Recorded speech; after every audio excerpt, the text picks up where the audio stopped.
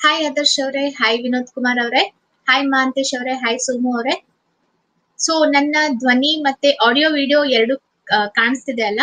Audio ಮತ್ತೆ video hi ಹೇಮನಾಯಕ್ ಅವರೇ. So audio video clear ಆಗಿ ಬರ್ತಿದೆ ಅಲ್ಲ? ಸೊ ಬರ್ತಿದ್ರೆ ಒಂದ್ಸಲ ತಮ್ನೇಲ್ ಕೊಟ್ಬಿಡಿ, ನನ್ಗೆ ಕನ್ಫರ್ಮ್ ಆಗ್ಬಿಡತ್ತೆ. ಹಾಯ್ ಸುಭಾಷ್ ಅವರೇ. ಓಕೆ ಸೊ ಒಂದೇ ಒಂದ್ ನಿಮಿಷ ನಾವು ಸ್ಟಾರ್ಟ್ ಮಾಡೋಣ ಕ್ಲಾಸ್ ಅನ್ನ ಓಕೆ ಸೊ ಅದಕ್ಕಿಂತ ಮುಂಚೆ ಈ ಒಂದು ಅನ್ ಅಕಾಡೆಮಿ ಕುರಿತಾಗಿ ಹೇಳ್ಬಿಡ್ತೀನಿ ಸೊ ಅನ್ ಅಕಾಡೆಮಿ ಭಾರತದ number one online classroom ಆಗಿದೆ, ಈಗಾಗಲೇ ನಾನು ಹೇಳಿರುವ ಹಾಗೆ. ಸೊ ಇವಾಗ ಒಂದು ನಿಮ್ಗೆ, ನಿಮ್ಗೋಸ್ಕರ ಅಂತ, ಅಂದ್ರೆ ಕರ್ನಾಟಕದ ಅಭ್ಯರ್ಥಿಗಳಿಗೋಸ್ಕರ ಅಂತ ಸೊ ಒಂದು ಹೊಸ ಏನು ಡಿಸ್ಕೌಂಟ್ ಅನ್ನ ಮಾಡಲಾಗಿದೆ ಅನ್ ಅಕಾಡೆಮಿಯಲ್ಲಿ ಅಂದ್ರೆ ಒಂದ್ ತಿಂಗಳಿಗೆ ಮೊದಲು ಏನಂದ್ರೆ ಸಾವಿರದ ನಾಲ್ಕುನೂರು ರೂಪಾಯಿಯನ್ನ ಪೇ ಮಾಡ್ಬೇಕಾಗಿತ್ತು. ಆದ್ರೆ ಇವಾಗ ಕೇವಲ ಎರಡ್ ನೂರ ನಲವತ್ತೊಂಬತ್ತು ರೂಪಾಯಿಯನ್ನ ಮಾತ್ರ ನೀವು ಪೇ ಮಾಡ್ಬೇಕಾಗತ್ತೆ. ಸೊ ಅದರ ಕುರಿತಾಗಿ ನಾನು ಲಾಸ್ಟ್ಗೆ ಹೇಳ್ತೀನಿ, ಯಾವ ರೀತಿಯಾಗಿ ಜಾಯಿನ್ ಆಗ್ಬೇಕು, ಯಾವ ರೀತಿಯಾಗಿ ನೀವು ಎರಡ್ ನೂರ ನಲವತ್ತೊಂಬತ್ತು ರೂಪಾಯಿಯನ್ನ ಮಾತ್ರ ಪೇ ಮಾಡ್ಬೇಕು, ಸಾವಿರದ ನಾಲ್ಕುನೂರು ರೂಪಾಯಿ ಅಲ್ಲ ಅಂತ ಓಕೆ ಸೊ ಲಾಸ್ಟ್ಗೆ ನಾನು ಅದರ ಕುರಿತಾಗಿ ಮಾಹಿತಿ ಹೇಳ್ತೀನಿ. ಹಾಯ್ ಮಾಲಾ ಅವರೇ ಹಾಯ್ ರವಿಚಂದ್ರ ಗೌಡ ಅವರೇ ಓಕೆ ಸೊ ಸ್ಟಾರ್ಟ್ ಮಾಡೋಕ್ಕಿಂತ ಮುಂಚೆ ದಯವಿಟ್ಟು ಎಲ್ಲರೂ ನಿಮ್ಮ ಮೊಬೈಲ್ ಫೋನ್ ಅನ್ನ ಸೊ ರಿಫ್ರೆಶ್ ಮಾಡ್ಕೊಳ್ಳಿ. ಇಲ್ಲಾಂದ್ರೆ ಆಮೇಲೆ ಪ್ರೆಸೆಂಟೇಶನ್ ಈ ಸ್ಲೈಡ್ಸ್ ಗಳನ್ನ ನೋಡುವಾಗ ಸ್ವಲ್ಪ ಪ್ರಾಬ್ಲಮ್ ಆಗುತ್ತೆ. Okay so hi Kiran Kumar ಅವರೇ ಹಾಯ್ ಮುರುಗೇಶ್ ಅವರೇ. ನೀವು ರಿಫ್ರೆಶ್ ಮಾಡಿದ ತಕ್ಷಣ ನನ್ಗೆ ಹೇಳ್ಬಿಡಿ, ನಾನು ಕ್ಲಾಸ್ ಅನ್ನ ಸ್ಟಾರ್ಟ್ ಮಾಡ್ತೀನಂತೆ.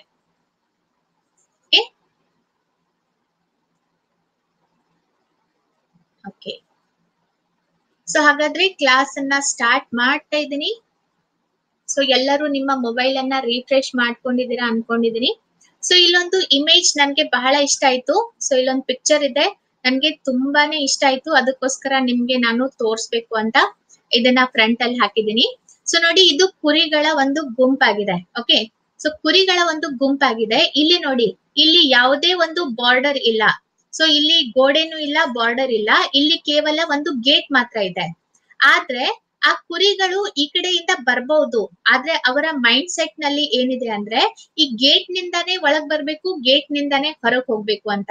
ಅಂದ್ರೆ ಈ ಒಂದು ಇಮೇಜ್ ಏನಂತ ಹೇಳುತ್ತೆ ಅಂದ್ರೆ ನಾವು ಯಾವ ರೀತಿಯಾಗಿ ನಮ್ಮ ಆಲೋಚನೆಯಲ್ಲೇ ನಾವು ಕೈದಿಗಳಂತೆ ಬಂಧಿಸಲ್ಪಟ್ಟಿದೀವಿ ಅನ್ನೋದನ್ನ ಹೇಳಲಿಕ್ಕೆ ತುಂಬಾನೇ ಚೆನ್ನಾಗಿರುವಂತ ಇಮೇಜ್ ಇತ್ತು. ಸೊ ಅದಕ್ಕೋಸ್ಕರ ಶೇರ್ ಮಾಡ್ಬೇಕು ಅನ್ಸ್, ಅಂತ ಅನಿಸ್ತು, ಅದಕ್ಕೆ ಶೇರ್ ಮಾಡ್ದೆ. ಓಕೆ ಸೊ ಹಾಯ್ ವಿನಯ್ ಅವರೇ ಹಾಯ್ ವೆಂಕಟೇಶ್ ಅವರೇ. ಅಂದ್ರೆ ನಮ್ಮ ನಮ್ಮ ಜೀವನದಲ್ಲಿ ಯಾವುದೇ ಬೌಂಡ್ರಿಗಳು ಇರಲ್ಲ. ಆದ್ರೆ ಸಮಾಜದಲ್ಲಿ ಇರುವಂತಹ ಬೌಂಡ್ರಿ ಆಗಿರ್ಬಹುದು ಅದು ನಮ್ಗೆ ಏನಾಗತ್ತೆ ಅಂದ್ರೆ ಅದನ್ನ ನಾವು ಮಾಡ್ಲೇಬೇಕು, ಅದನ್ನ ನಾವು ಮುರಿಬಾರ್ದು. ಹೊಸ ಚೇಂಜ್ ಆಗೋಕ್ಕಿಂತ ಮುಂಚೆ ಬಹಳ ಯೋಚನೆ ಮಾಡ್ತೀವಿ.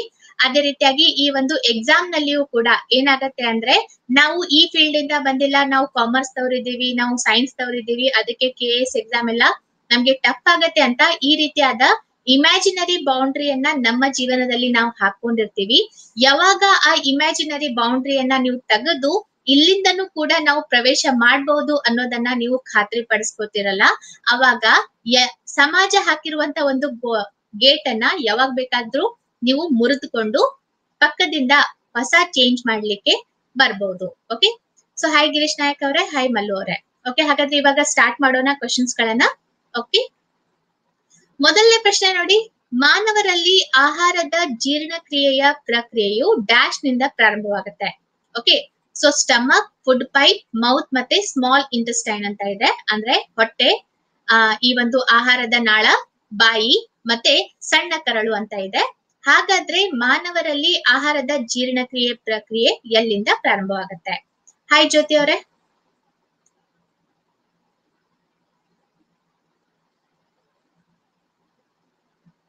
ಓಕೆ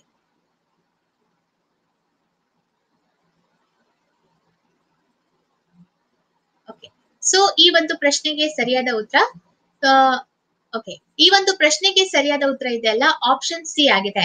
ಯಾಕೆ ಸ್ಟಮಕ್ನಿಂದ ಅಲ್ಲ, ಯಾಕೆ ಬಾಯಿಯಿಂದ ಈ ಒಂದು ಆಹಾರದ ಜೀರ್ಣಕ್ರಿಯೆ ಪ್ರಾರಂಭವಾಗುತ್ತೆ ಅಂದ್ರೆ ಸೊ ನಮ್ಮ ಹಲ್ಲು ಇರಬಹುದು ಆಹಾರವನ್ನ ಕಟ್ ಮಾಡಿ ಅದು ಏನು ಮತ್ತೆ ಬಾಯಿಯಲ್ಲಿ ಇರುವಂತಹ ಒಂದು ಸಲೈವ ಇದೆ ಅಲ್ಲ, ಅದು ನಮ್ಮ ಒಂದು ಬಾಯಿಯಲ್ಲಿ ಕೆಮಿಕಲ್ ಡೈಜೆಷನ್ ಮಾಡ್ಲಿಕ್ಕೆ ಅದು ಸಹಾಯ ಮಾಡುತ್ತೆ.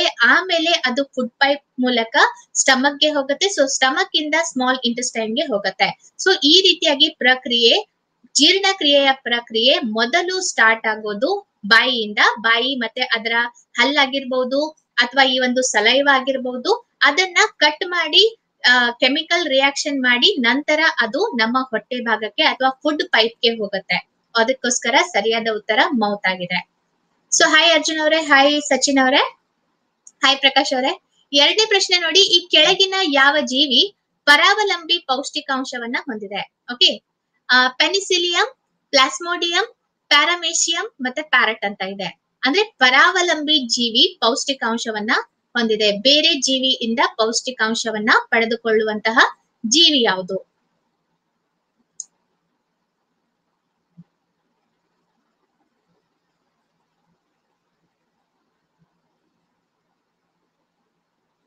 ಓಕೆ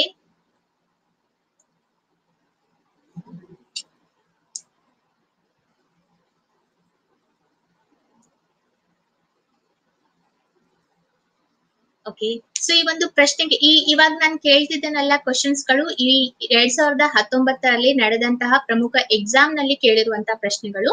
ಸೊ ಅದಕ್ಕೋಸ್ಕರ ಇಂಪಾರ್ಟೆಂಟ್ ಆಗಿದೆ. ಓಕೆ ಸೊ ಈ ಒಂದು ಪ್ರಶ್ನೆಗೆ ಸರಿಯಾದ ಉತ್ತರ, ಈ ಕೆಳಗಿನ ಯಾವ ಜೀವಿ ಪರಾವಲಂಬಿ ಪೌಷ್ಟಿಕಾಂಶವನ್ನ ಹೊಂದಿದೆ ಅಂದ್ರೆ ಸರಿಯಾದ ಉತ್ತರ ಪ್ಲಾಸ್ಮೋಡಿಯಂ. ಸೊ ಪ್ಲಾ ಇದು ಒಂದು ಪ್ಯಾರಾಸೆಟಿಕ್ ನ್ಯೂಟ್ರಿಷನ್ ಇದೆ ಅಲ್ಲ ಪ್ಯಾರಾಸಿಟಿಕ್ ನ್ಯೂಟ್ರಿಷನ್ ಆರ್ಗನಿಸಮ್ ಇದೆ ಅಲ್ಲ. ಸೊ ಇದು ತನ್ನ ಒಂದು ಫುಡ್ಗೋಸ್ಕರ ಲಿವಿಂಗ್ ಆರ್ಗಾನಿಸಮ್ಗೋಸ್ಕರ ಬೇರೆ ಪರಾವಲಂಬಿ ಪೌಷ್ಟಿಕಾಂಶವನ್ನ ಸಾಯಿಸುವ ಮೂಲಕ ತನ್ನ ಆಹಾರದಲ್ಲಿ ಪೌಷ್ಟಿಕಾಂಶವನ್ನ ಪಡ್ಕೊಳತ್ತಲ್ಲ ಅಂತವುಗಳನ್ನ ನಾವು ಪ್ಯಾರಾಸೈಟ್ಗಳು ಅಂತ ಹೇಳ್ತೀವಿ. ಸೊ ಪ್ಯಾರಾಸೈಟ್ ಗಳಂದ್ರೆ ಪ್ರಮುಖವಾಗಿ ಈ ಒಂದು ಫಂಗಿ ಆಗಿರ್ಬಹುದು ಬ್ಯಾಕ್ಟೀರಿಯಾ ಆಗಿರ್ಬಹುದು ಅದೇ ರೀತಿಯಾಗಿ ಕೆಲವು ಪ್ಲಾಂಟ್ಸ್ಗಳು ಕೂಡ ಪ್ಯಾರಾಸೈಟ್ಗಳು ಆಗಿರುತ್ತೆ. ಸೊ ಅದೇ ರೀತಿಯಾಗಿ ಈ ಒಂದು ಜೀವಿ ಯಾವ ಒಂದು ಜೀವಿ ಪರಾವಲಂಬಿ ಪೌಷ್ಟಿಕಾಂಶವನ್ನ ಹೊಂದಿದೆ ಅಂದ್ರೆ ಅದು ಪ್ಲಾಸ್ಮೋಡಿಯಂ ಆಗಿದೆ. ಸೊ ಪ್ಲಾಸ್ಮೋಡಿಯಂ ಆಗಿರ್ಬಹುದು ಸೊ ರೌಂಡ್ ವರ್ಮ್ ಅಂತ ಹೇಳ್ತಾರಲ್ಲ ಸೊ ಈ ರೀತಿಯಾಗಿ ಇರುವಂತಹ ಹುಳ ಇರುತ್ತಲ್ಲ ಸೊ ಪ್ಲಾಸ್ಮೋಡಿಯಂ ಆಗಿರ್ಬಹುದು ಅಥವಾ ರೌಂಡ್ ವರ್ಮ್ ಇದೆ ಅಲ್ಲ, ಪ್ರಮುಖವಾಗಿ ಇವು ಪರಾವಲಂಬಿ ಪೌಷ್ಟಿಕಾಂಶವನ್ನ ಹೊಂದಿರುವಂತಹ ಜೀವಿಯಾಗಿದೆ. ಮತ್ತೆ ಪ್ಲಾಸ್ಮೋಡಿಯಂ ನಿಂದ ಬರುವಂತಹ ಒಂದು ಪ್ರಮುಖವಾದ ರೋಗ ಯಾವುದು ಅಂತ ಗೊತ್ತಾ ಯಾರಿಗಾದ್ರು? ಪ್ಲಾಸ್ಮೋಡಿಯಂ ನಿಂದ ಯಾವ ರೋಗ ಬರುತ್ತೆ ಅಂತ ಗೊತ್ತಾ? ಹಾಯ್ ಬಿರಾದರ್ ಅವ್ರೆ. ಓಕೆ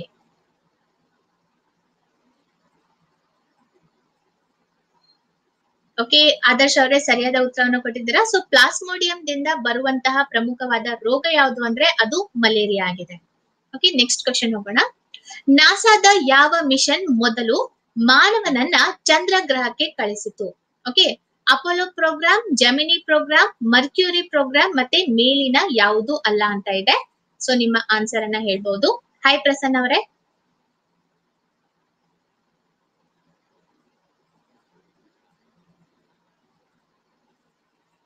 ಓಕೆ ಸೊ ಬಹಳ ಜನ ಇದ್ದೀರಾ, ಆದ್ರೆ ಉತ್ತರಗಳು ಕಡಿಮೆ ಬರ್ತಾ ಇದೆ. ಓಕೆ ಸೊ ಎಲ್ಲರೂ ಸರಿಯಾದ ಉತ್ತರವನ್ನು ಕೊಟ್ಟಿದ್ದೀರಾ? ಸೊ ನಾಸಾದ ಯಾವ ಮಿಷನ್ ಮೊದಲು ಮಾನವನನ್ನ ಚಂದ್ರಗ್ರಹಕ್ಕೆ ಕಳಿಸಿತು ಅಂದ್ರೆ ಅದು ಅಪೋಲೋ ಪ್ರೋಗ್ರಾಮ್ ಆಗಿದೆ. So Apollo so Apollo eleven ಇದೆ ಅಲ್ಲ? ಸೊ ಈ ಒಂದು ಸ್ಪೇಸ್ ಕ್ರಾಫ್ಟ್ ಇದೆ ಅಲ್ಲ? ಹ್ಯೂಮನ್ ಅನ್ನ ಅಂದ್ರೆ ಮಾನವನನ್ನ ಚಂದ್ರನ ಮೇಲೆ ಲ್ಯಾಂಡ್ ಮಾಡಿದಂತಹ ಮೊದಲ ಸ್ಪೇಸ್ ಕ್ರಾಫ್ಟ್ ಆಗಿದೆ. ಸೊ ಇದ್ರಲ್ಲಿ ಹೋದಂತಹ ಈ ಒಂದು ವ್ಯಕ್ತಿ ಯಾರು? ಅಂದ್ರೆ ಅಪೋಲೋ ಲೆವೆನ್ನಲ್ಲಿ ಹೋದಂತಹ ವ್ಯಕ್ತಿ ಯಾರು? ಮೊದಲ ಮಾನವ, ಚಂದ್ರ ಗ್ರಹದ ಮೇಲೆ ಹೆಜ್ಜೆ ಇಟ್ಟಂತಹ ಮೊದಲ ಮಾನವ ಯಾರು?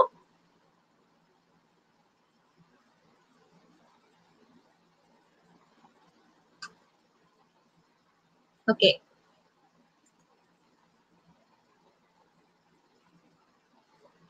ಓಕೆ ಸರಿಯಾಗಿದೆ. ನೀಲ್ ಆಮ್ಸ್ಟ್ರಾಂಗ್ ಸೊ ಅಪೋಲೋ ಲೆವೆನ್ನಲ್ಲಿ ನೀಲ್ ಆಮ್ಸ್ಟ್ರಾಂಗ್ ಅವರು ಈ ಒಂದು ಚಂದ್ರ ಗ್ರಹದ ಮೇಲೆ ಹೆಜ್ಜೆ ಇಟ್ಟಂತಹ ಪ್ರಮುಖ ವ್ಯಕ್ತಿಯಾಗಿದ್ದಾರೆ. ಸೊ ಯಾವಾಗ ಈ ಒಂದು ಸ್ಪೇಸ್ ಕ್ರಾಫ್ಟ್ ಅನ್ನ ಹಾರಿಸಲಾಯಿತು ಅಂದ್ರೆ ಜುಲೈ ಇಪ್ಪತ್ತು ಹತ್ತೊಂಬತ್ ನೂರ ಅರವತ್ತೊಂಬತ್ತರಂದು. ಯಾವಾಗ?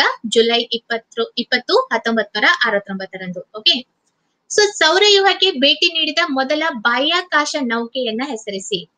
ಸೊ ಪಯೋನಿಯರ್ ಟೆನ್ ಮತ್ತು ಪಯೋನಿಯರ್ ಲೆವೆನ್ ರೇಂಜರ್ ಒನ್ ಮತ್ತೆ ರೇಂಜರ್ ಟು ಸರ್ವೈವರ್ ಸಿಕ್ಸ್ ಮತ್ತೆ Survivor seven Viking one and Viking two ಅಂತ ಇದೆ. ಹಾಗಾದ್ರೆ ಸೌರ ಸೌರವ್ಯೂಹಕ್ಕೆ ಭೇಟಿ ನೀಡಿದ ಮೊದಲ ಬಾಹ್ಯಾಕಾಶ ನೌಕೆ ಹೆಸರಿಸಿ.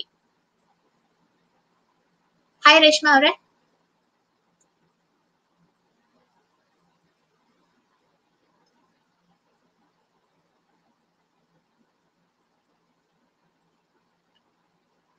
ಸೋಲಾರ್ ಸಿಸ್ಟಮ್ ಅನ್ನ, ಅಂದ್ರೆ ಮೊದಲು ಭೇಟಿ ನೀಡಿದಂತಹ ನೌಕೆ ಯಾವುದು ಅಂತ ಹೇಳ್ಬೇಕಾಗಿದೆ.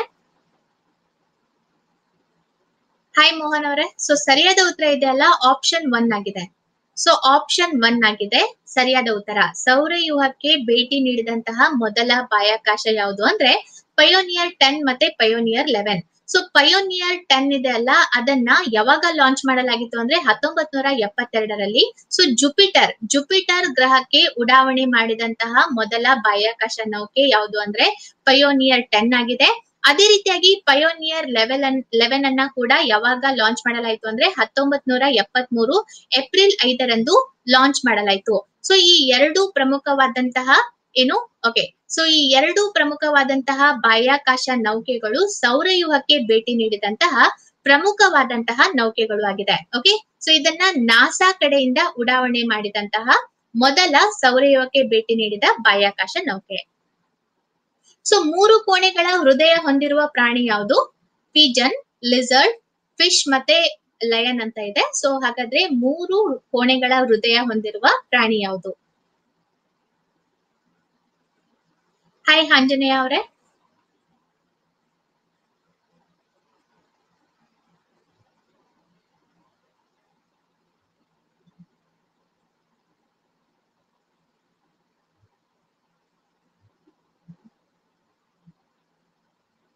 ಓಕೆ ಸೊ ಆಲ್ಮೋಸ್ಟ್ ಸರಿಯಾಗಿ ಉತ್ತರವನ್ನ ಕೊಟ್ಟಿದ್ದೀರಾ? ಸೊ ಮೂರು ಪುಣೆಗಳ ಹೃದಯ ಹೊಂದಿರುವ ಪ್ರಾಣಿ ಯಾವುದು ಅಂದ್ರೆ ಲಿಸರ್ಡ್ ಆಗಿದೆ.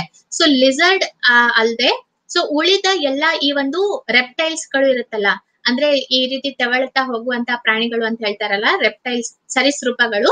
ಸೊ ಸರಿಸೃಪಗಳಲ್ಲಿ ಕ್ರೊಕೊಡೈಲ್ ಅಂದ್ರೆ ಮೊಸಳೆ ಒಂದು ಬಿಟ್ಟು ಉಳಿದ ಎಲ್ಲಾ ಸರೀಸೃಪಗಳು ಇದೆ ಅಲ್ಲ, ಮೂರು ಕೋಣೆಗಳ ಹೃದಯವನ್ನ ಹೊಂದಿರುವಂತ ಒಂದು ಪ್ರಾಣಿಯಾಗಿದೆ. ಲಿಸರ್ಡ್ ಕೂಡ ಇನ್ನು ಸರೀಸೃಪ ಅಲ್ವಾ? ಅದು ರೆಪ್ಟೈಲ್ಸ್ ಅಂದ್ರೆ ಸರಿಸೃಪ ಅಲ್ಲ ಕನ್ನಡದಲ್ಲಿ.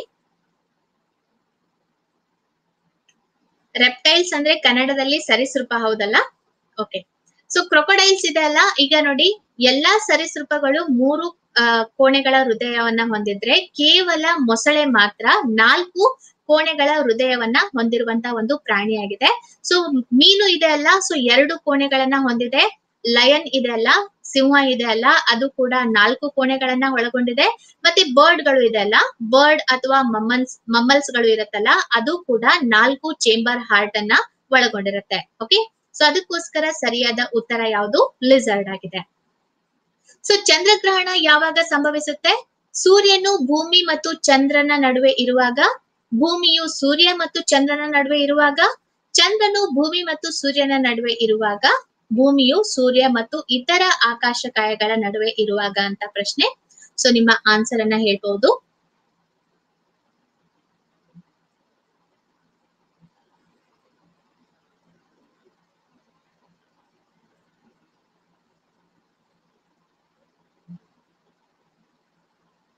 ಓಕೆ ಸೊ ಈ ಒಂದು ಪ್ರಶ್ನೆಗೆ ಸರಿಯಾದ ಉತ್ತರವನ್ನ ಎಲ್ಲರೂ ನೋಡಿದ್ದೀರಾ? ಸೊ ಭೂಮಿಯು ಸೂರ್ಯ ಮತ್ತು ಚಂದ್ರನ ನಡುವೆ ಇದ್ದಾಗ ಈ ಒಂದು ಚಂದ್ರಗ್ರಹಣ ಸಂಭವಿಸುತ್ತೆ. ಅದಕ್ಕೋಸ್ಕರ ಸರಿಯಾದ ಉತ್ತರ ಆಪ್ಷನ್ ಬಿ ಆಗಿದೆ. ನೆಕ್ಸ್ಟ್ ಕ್ವಶನ್ ನೋಡೋಣ. ಸಸ್ಯಗಳಲ್ಲಿ ಆಹಾರ ಸಾಗಣೆ ಈ ಮೂಲಕ ನಡೆಯುತ್ತೆ. ಸಸ್ಯಗಳಲ್ಲಿ ಆಹಾರ ಸಾಗಣೆ ಈ ಮೂಲಕ ನಡೆಯುತ್ತೆ. ಝೈಲಂ phloem companion ಸೆಲ್ಸ್ಗಳು none of the ಅಂತ ಇದೆ. ಹಾಗಾದ್ರೆ ಸಸ್ಯಗಳಲ್ಲಿ ಆಹಾರ ಸಾಗಣೆ ಯಾವುದರ ಮೂಲಕ ನಡೆಯುತ್ತೆ?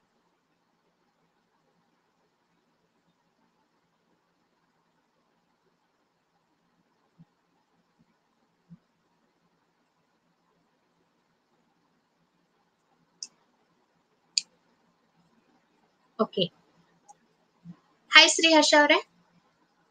ಓಕೆ ಈ ಒಂದು ಪ್ರಶ್ನೆಗೆ ಸರಿಯಾದ ಉತ್ತರ ಇದೆ ಅಲ್ಲ? ಪ್ಲೋಯಮ್ ಆಗಿದೆ. ಯಾಕೆ ಪ್ಲೋಯಂ ಅಂತ ಹೇಳ್ತೀನಿ ನೋಡಿ. ಪ್ಲಾಂಟ್ಸ್ಗಳಲ್ಲಿ ಎರಡು ರೀತಿಯಾದಂತಹ ಟಿಶ್ಯೂಗಳ ಒಂದು ಟ್ರಾನ್ಸ್ಪೋರ್ಟೇಶನ್ ಎರಡು ಟಿಶ್ಯೂಗಳು ಇದೆ ಅಲ್ಲ?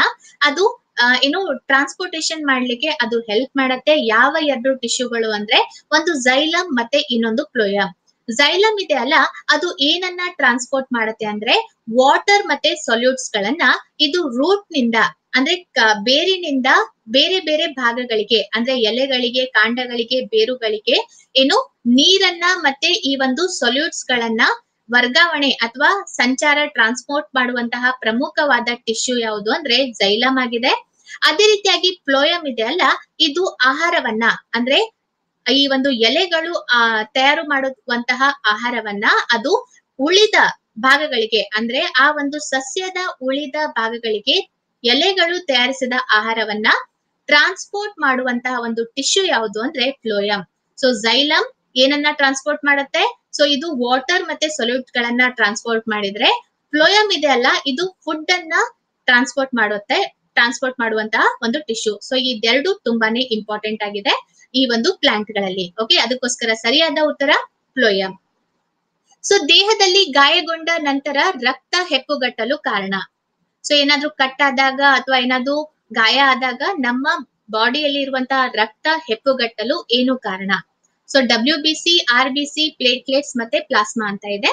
ಸೊ ನಿಮ್ಮ ಆನ್ಸರ್ ಅನ್ನ ಹೇಳ್ಬಹುದು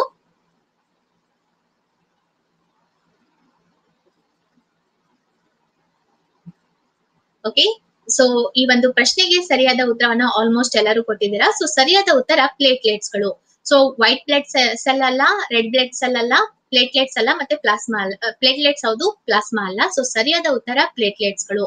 ಸೊ ಯಾವಾಗ ನಮ್ಮ ಒಂದು ಬಾಡಿಯಲ್ಲಿ ಏನಾದ್ರೂ ಊಂಡ್ ಆದಾಗ ಅಥವಾ ಗಾಯ ಆದಾಗ ಅಥವಾ ಏನಾದ್ರೂ ಕಟ್ ಆದಾಗ ಸ್ವಲ್ಪ ಸಮಯದ ನಂತರ ಆ ಒಂದು ರಕ್ತ ಹೆಪ್ಪುಗಟ್ಬಿಡತ್ತೆ.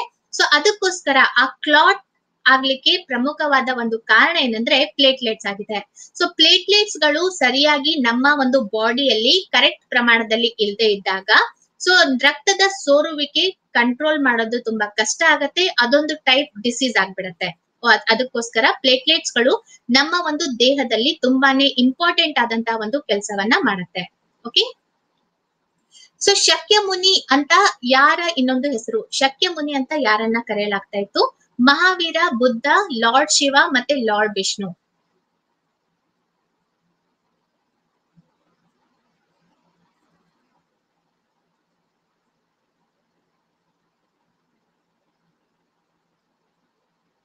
ಓಕೆ ಸೊ ಸರಿಯಾದ ಉತ್ತರವನ್ನ ಆಲ್ಮೋಸ್ಟ್ ಎಲ್ಲರೂ ಕೊಟ್ಟಿದ್ದೀರಾ? ಸೊ ಶಕ್ಯ ಮುನಿ ಇನ್ನೊಂದು ಯಾರ ಇನ್ನೊಂದು ಹೆಸರು ಅಂದ್ರೆ ಬುದ್ಧನನ್ನ ಶಕ್ಯ ಮುನಿ ಅಂತ ಕೂಡ ಕರೆಯಲಾಗ್ತಾ ಇತ್ತು. ಓಕೆ ಸೊ ಈ ಕೆಳಗಿನ ಯಾವ ಉಪಗ್ರಹ ವಿರೋಧಿ ಕ್ಷಿಪಣಿಯನ್ನ ಭಾರತವು ಮಾರ್ಚ್ ಇಪ್ಪತ್ತೇಳು, ಎರಡ್ ಸಾವಿರದ ಹತ್ತೊಂಬತ್ತರಂದು ಪರೀಕ್ಷಿಸಿತು. So mission Antariksh, mission Gagan, mission Shakti ಮತ್ತೆ ಮಿಷನ್ ಡಿಸ್ಟ್ರಕ್ಷನ್ ಅಂತ ಇದೆ. ಹಾಗಾದ್ರೆ ಯಾವ ಒಂದು ಕ್ಷಿಪಣಿಯನ್ನ ಸೊ ಮಾರ್ಚ್ ಇಪ್ಪತ್ತೇಳು, ಎರಡ್ ಸಾವಿರದ ಹತ್ತೊಂಬತ್ತರಂದು ಪರೀಕ್ಷೆ ಮಾಡಲಾಯಿತು.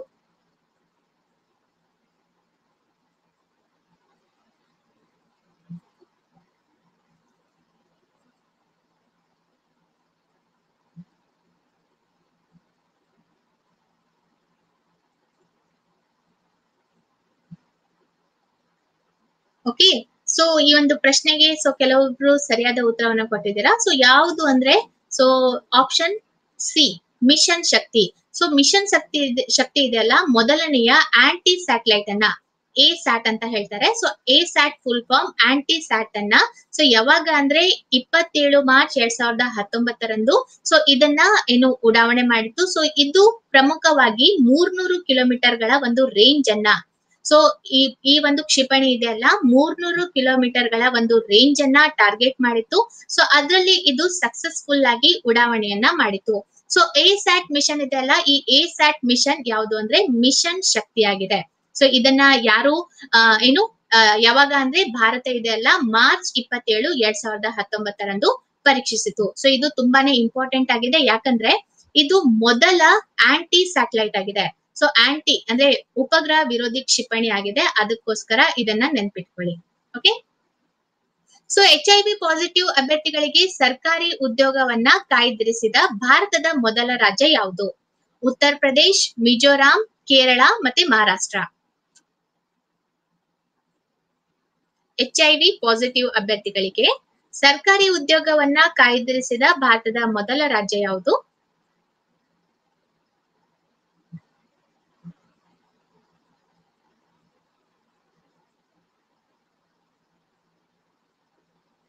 ಓಕೆ ಓಕೆ ಸೊ ಸರಿಯಾದ ಉತ್ತರ ಕೇರಳ ಆಗಿದೆ. ಸೊ ಆಲ್ಮೋಸ್ಟ್ ಎಲ್ಲರೂ ಸರಿಯಾದ ಉತ್ತರನ ಕೊಟ್ಟಿದ್ದೀರಾ. So H I V positive ಅಭ್ಯರ್ಥಿಗಳಿಗೆ ಸರ್ಕಾರಿ ಉದ್ಯೋಗವನ್ನ ಕಾಯ್ದಿರಿಸಿದ ಭಾರತದ ಮೊದಲ ರಾಜ್ಯ ಯಾವುದು ಅಂದ್ರೆ ಕೇರಳ ಆಗಿದೆ. ಸೊ ಕೇರಳ ಇದೆ ಅಲ್ಲ, ಈ ಒಂದು ಏಡ್ಸ್ ಕಂಟ್ರೋಲ್ ಸೊಸೈಟಿ ಕರ್ನಾ, ಕೇರಳ ಸ್ಟೇಟ್ ಕೇರಳ ಸ್ಟೇಟ್ ಇದು, Kerala state AIDS control society ಅಂತ ಇದೆ. ಸೊ ಇದು ಇದೆಲ್ಲ ಪ್ರಮುಖವಾಗಿ ಇದನ್ನ ಅನೌನ್ಸ್ ಮಾಡಿದೆ ಅಂದ್ರೆ ಈ ಒಂದು ಸರ್ಕಾರಿ ಉದ್ಯೋಗದಲ್ಲಿ ಎಚ್ ಐ ವಿ ಪಾಸಿಟಿವ್ ಅಭ್ಯರ್ಥಿಗಳಿಗೋಸ್ಕರ ಸೀಟ್ ಅನ್ನ ಏನು ರಿಸರ್ವ್ ಮಾಡಬೇಕು ಅನ್ನೋ ಒಂದು ಉದ್ದೇಶವನ್ನ ಘೋಷಣೆ ಮಾಡಿದಂತಹ ಪ್ರಮುಖವಾದ ಸಂಸ್ಥೆ ಯಾವುದು ಅಂದ್ರೆ Kerala state AIDS control society ಆಗಿದೆ. ಓಕೆ ಸೊ ಇದರಿಂದಾಗಿ ಎಚ್ ಐ ವಿ ಅಂದ್ರೆ ಎಚ್ ಐ ವಿ ಪೀಡಿತರಿಗೂ ಕೂಡ ಉದ್ಯೋಗದಲ್ಲಿ ಅವಕಾಶವನ್ನ ನೀಡಬೇಕು ಮತ್ತೆ ಎಚ್ ಐ ವಿ ಕುರಿತಾಗಿ ಇರುವಂತಹ ಒಂದು ಮೂಢನಂಬಿಕೆಗಳನ್ನ ಹೋಗಲಾಗಿಡಿಸ್ಬೇಕು ಮತ್ತೆ ಅದನ್ನ ಪ್ರಿವೆನ್ಷನ್ ಮಾಡ್ಲಿಕ್ಕೆ ಆದಷ್ಟು ಮುಂಜಾಗ್ರತೆ ಕ್ರಮವನ್ನ ತೆಗೆದುಕೊಳ್ಳಬೇಕು ಅನ್ನುವಂತ ಒಂದು ಉದ್ದೇಶದಿಂದ ಕೇರಳ ಸರ್ಕಾರ ಈ ಒಂದು ಹೊಸ ಆದಂತಹ ಯೋಜನೆಯನ್ನ ಪ್ರಾರಂಭ ಮಾಡಿದೆ. Okay so Chandrayaan two mission ಅನ್ನ ಯಾವ ವಾಹನದಿಂದ ಉಡಾವಣೆ ಮಾಡಲಾಯಿತು? ಹಾಯ್ ರಾಮಗೌಡ ಅವರೇ. F eleven P S L V C forty five ಅಂತ ಇದೆ. ಸೊ ನಿಮ್ಮ ಆನ್ಸರ್ ಅನ್ನ ಹೇಳ್ಬೋದು.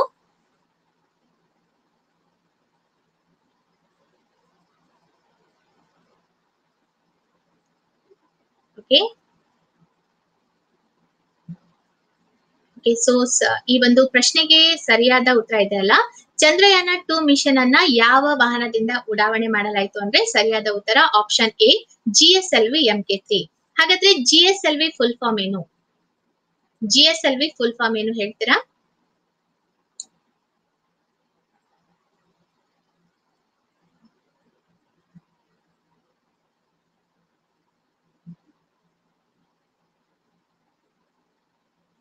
G S L V full form ಕೇಳಿಸ್ತಿದೆ ಅಲ್ಲ?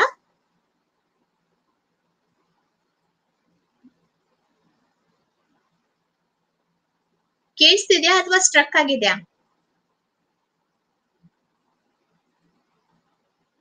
Okay so G S L B full form ಹೇಳ್ತೀರಾ? ಸೊ ಯಾಕಂದ್ರೆ ಇದನ್ನ ಕೂಡ ಬಹಳ ಸಲ ಕೇಳಿದ್ದಾರೆ. G S L B P S L B ಅದ್ರ ಫುಲ್ ಫಾರ್ಮ್ ಏನಂತ. ಓಕೆ ಓಕೆ ಸರಿಯಾದ ಉತ್ತರ ನಾಗರಾಜ್ ಅವರೇ? ಓಕೆ ನೋಡಿ. ಹಾಯ್ ಆಕಾಶ್ ಅವರೇ. So geo G S L V M K three ಇದರ ಒಂದು ಫುಲ್ ಫಾರ್ಮ್ ಏನಂದ್ರೆ geo synchronous satellite launch vehicle geo synchronous satellite launch vehicle mark three ಅಂತ ಆಗಿದೆ ಸೊ ಇದು ಚಂದ್ರಯಾನ ಟೂ ಮಿಷನ್ ಅನ್ನ ಸೊ ಈ ಒಂದು ಉಡಾವಣಾ ವಾಹನದಿಂದ ಅದನ್ನ ಉಡಾಯಿಸಲಾಯಿತು. ಓಕೆ ಸೊ ಆಲ್ಮೋಸ್ಟ್ ಎಲ್ಲರೂ ಸರಿಯಾದ ಉತ್ತರವನ್ನು ಕೊಟ್ಟಿದ್ದೀರಾ? ಸೊ ಇದು ಇಸ್ರೋ ಕಡೆಯಿಂದ ಎರಡನೆಯ ಒಂದು ಚಂದ್ರಯಾನ, ಅಂದ್ರೆ ಎರಡನೆಯ ಒಂದು ಉಡಾವಣಾ ವ್ಯವಸ್ಥೆ ಆಗಿತ್ತು. Chandrayaan one MOM mission one ಅಂದ ನಂತರ ಚಂದ್ರಯಾನ ಟೂ ಅನ್ನ ಉಡಾವಣೆ ಮಾಡಲಾಯಿತು. ಯಾವ ಒಂದು ಉಡಾವಣಾ ಮೂಲಕ ಅಂದ್ರೆ G S L V M K three ಉಡಾವಣಾ ವಾಹನದ ಮೂಲಕ ಯಾವಾಗ ಅಂದ್ರೆ ಹತ್ತೊಂಬತ್ತು ಆಗಸ್ಟ್ ಎರಡ್ ಸಾವಿರದ ಹತ್ತೊಂಬತ್ತರಂದು. ಯಾವಾಗ? ಹತ್ತೊಂಬತ್ತು ಹತ್ತೊಂಬತ್ತು ಆಗಸ್ಟ್ ಎರಡ್ ಸಾವಿರದ ಹತ್ತೊಂಬತ್ತು. ಯಾರ ಕಡೆಯಿಂದ? ಇಸ್ರೋ ಕಡೆಯಿಂದ ಓಕೆ ಸೊ ಹಾಯ್ ಮಾಲಿಂಗ್ ಅವರೇ ಹಾಯ್ ಮನೋಜ್ ಅವರೇ. ನೆಕ್ಸ್ಟ್ ಕ್ವಶನ್ ನೋಡೋಣ. ಎರಡ್ ಸಾವಿರದ ಹತ್ತೊಂಬತ್ತರಲ್ಲಿ ರಸಾಯನ ಶಾಸ್ತ್ರಕ್ಕೆ ನೋಬೆಲ್ ಪ್ರಶಸ್ತಿ ಯಾವ ಅಭಿವೃದ್ಧಿಗೋಸ್ಕರ ನೀಡಲಾಯಿತು? ಹಾಯ್ ಪುಷ್ಪ ಅವರೇ. So for the development of lithium ion batteries ಅಂದ್ರೆ ಲಿಥಿಯಂ ಅಯಾನ್ ಬ್ಯಾಟರೀಸ್ ಗಳನ್ನ ಅಭಿವೃದ್ಧಿ ಪಡಿಸಿದ್ದಕ್ಕಾಗಿ ಟು ಡೆವಲಪ್ ಪ್ರೋಟೀನ್ ಅಂದ್ರೆ ಪ್ರೋಟೀನ್ ಅನ್ನ ಅಭಿವೃದ್ಧಿ ಪಡಿಸಿದಕ್ಕಾಗಿ ಫಾರ್ ಡೆವಲಪಿಂಗ್ ಏನು ಕ್ರೈಲೋಟ್ರಾನ್ ಮೈಕ್ರೋಸ್ಕೋಪ್ ಅಂತ ಅದೇ ರೀತಿಯಾಗಿ ನನ್ ಆಫ್ ದ ಅಬವ್ ಅಂತ ಇದೆ. ಹಾಗಾದ್ರೆ ಎರಡ್ ಸಾವಿರದ ಹತ್ತೊಂಬತ್ತರಲ್ಲಿ ರಸಾಯನಶಾಸ್ತ್ರಕ್ಕೆ ನೋಬೆಲ್ ಪ್ರಶಸ್ತಿ ಯಾವ ಅಭಿವೃದ್ಧಿಗೋಸ್ಕರ ನೀಡಲಾಯಿತು?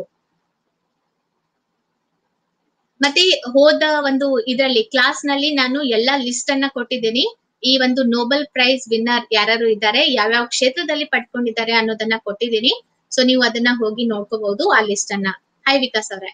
ಸೊ ಈ ಒಂದು ಪ್ರಶ್ನೆಗೆ ಸರಿಯಾದ ಉತ್ತರ ಇದೆಯಲ್ಲ? ಸೊ ರಸಾಯನ ಶಾಸ್ತ್ರಕ್ಕೆ ಯಾವ ಒಂದು ಅಭಿವೃದ್ಧಿಗೋಸ್ಕರ ನೀಡಲಾಯಿತು ಅಂದ್ರೆ for the development of lithium ion ಬ್ಯಾಟ್ರೀಸ್ಗೋಸ್ಕರ ಈ ಒಂದು ಪ್ರಶಸ್ತಿಯನ್ನ ನೀಡಿ ಗೌರವಿಸಲಾಯಿತು ಎರಡ್ ಸಾವಿರದ ಹತ್ತೊಂಬತ್ತರಲ್ಲಿ. ಸೊ ಯಾರಿಗೆ ಈ ಒಂದು ಕೆಮಿಸ್ ಈ ಒಂದು ರಸಾಯನ ಶಾಸ್ತ್ರದಲ್ಲಿ ಪ್ರಶಸ್ತಿಯನ್ನ ನೀಡಲಾಯಿತು ಅಂತ ಹೇಳ್ತೀರಾ?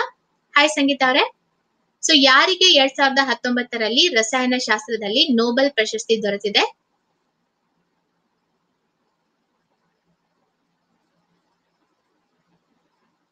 ಓಕೆ ಎಷ್ಟು ಜನರಿಗಾದ್ರೂ ಈ ರಸಾಯನ ಶಾಸ್ತ್ರಕ್ಕೆ ನೋಬೆಲ್ ಪ್ರಶಸ್ತಿ ದೊರೆತಿದೆ?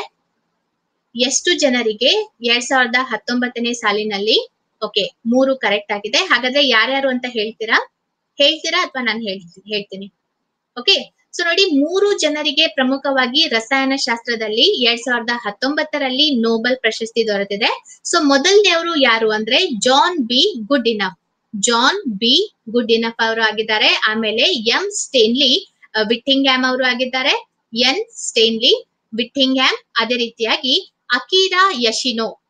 ಅಕೀರಾ ಯಶಿನೋ. ಸೊ ಈ ಮೂರು ಜನರು ಏನು ಏನು for the development of lithium ion ಬ್ಯಾಟರಿಗೋಸ್ಕರ ಈ ಮೂರು ಜನರಿಗೋಸ್ಕರ ಎರಡ್ ಸಾವಿರದ ಹತ್ತೊಂಬತ್ತರಲ್ಲಿ ನೋಬೆಲ್ ಪ್ರಶಸ್ತಿಯನ್ನ ರಸಾಯನಶಾಸ್ತ್ರ ವಿಭಾಗಕ್ಕೋಸ್ಕರ ಇವರಿಗೆ ನೀಡಲಾಗಿದೆ.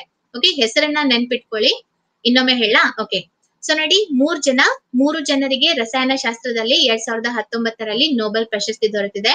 ಯಾರ್ಯಾರು ಅಂದ್ರೆ, ಮೊದಲನೆಯವರು John B Goodenough John B Goodenough ಎರಡನೇ ಅವರು ಸ್ಟೇನ್ಲಿ ವಿಟ್ಟಿಂಗ್ಹ್ಯಾಮ್ ಸ್ಟೇನ್ಲಿ ವಿಟ್ಟಿಂಗ್ಹ್ಯಾಮ್ ಮೂರನೇ ಅವರು ಅಕಿರಾ ಯೋಶಿನೋ ಅಕಿರಾ ಯೋಶಿನೋ ಸೊ ಈ ಮೂರು ಜನರಿಗೆ ಏನು for the development of lithium ion ಬ್ಯಾಟರಿಗೋಸ್ಕರ ಈ ಒಂದು ನೋಬೆಲ್ ಪ್ರಶಸ್ತಿಯನ್ನ ನೀಡಿದ್ದಾರೆ. ಓಕೆ ಮಹೇಶ್ ಅವರ ಲಾಸ್ಟ್ಗೆ ತಿಳಿಸ್ತೇನಂತೆ ಓಕೆ ಸೊ ನೆಕ್ಸ್ಟ್ ಕ್ವಶನ್ ನೋಡಿ ಜೀಕಾ ವೈರಸ್ಗೆ ಯಾವ ದೇಶದ ಜೀಕಾ ಅರಣ್ಯದ ಹೆಸರಿಡಲಾಗಿದೆ ಸೊ ನೈಜೀರಿಯಾ ಅಂಗೋಲಾ ಮತ್ತೆ, ಆ ನಿಕಾರಾಗೋ ಮತ್ತೆ ಉಗಾಂಡ ಅಂತ ಇದೆ. ಹಾಗಾದ್ರೆ, ಯಾವ ದೇಶದ ಜೀಕಾ ಅರಣ್ಯದ ಹೆಸರಿನ ಮೇಲೆ ಜೀಕಾ ವೈರಸ್ನ ಹೆಸರನ್ನ ಇಡಲಾಗಿದೆ?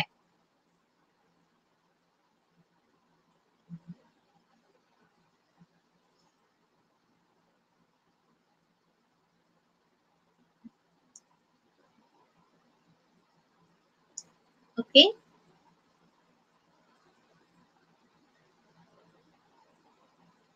ಹಾಯ್ ರಾಮಗೌಡ ಅವರೇ. ಓಕೆ ಈ ಒಂದು ಪ್ರಶ್ನೆಗೆ ಸರಿಯಾದ ಉತ್ತರ ಇದೆಯಲ್ಲ ಉಗಾಂಡ. ಸೊ ಉಗಾಂಡ ಸರಿಯಾದ ಉತ್ತರ.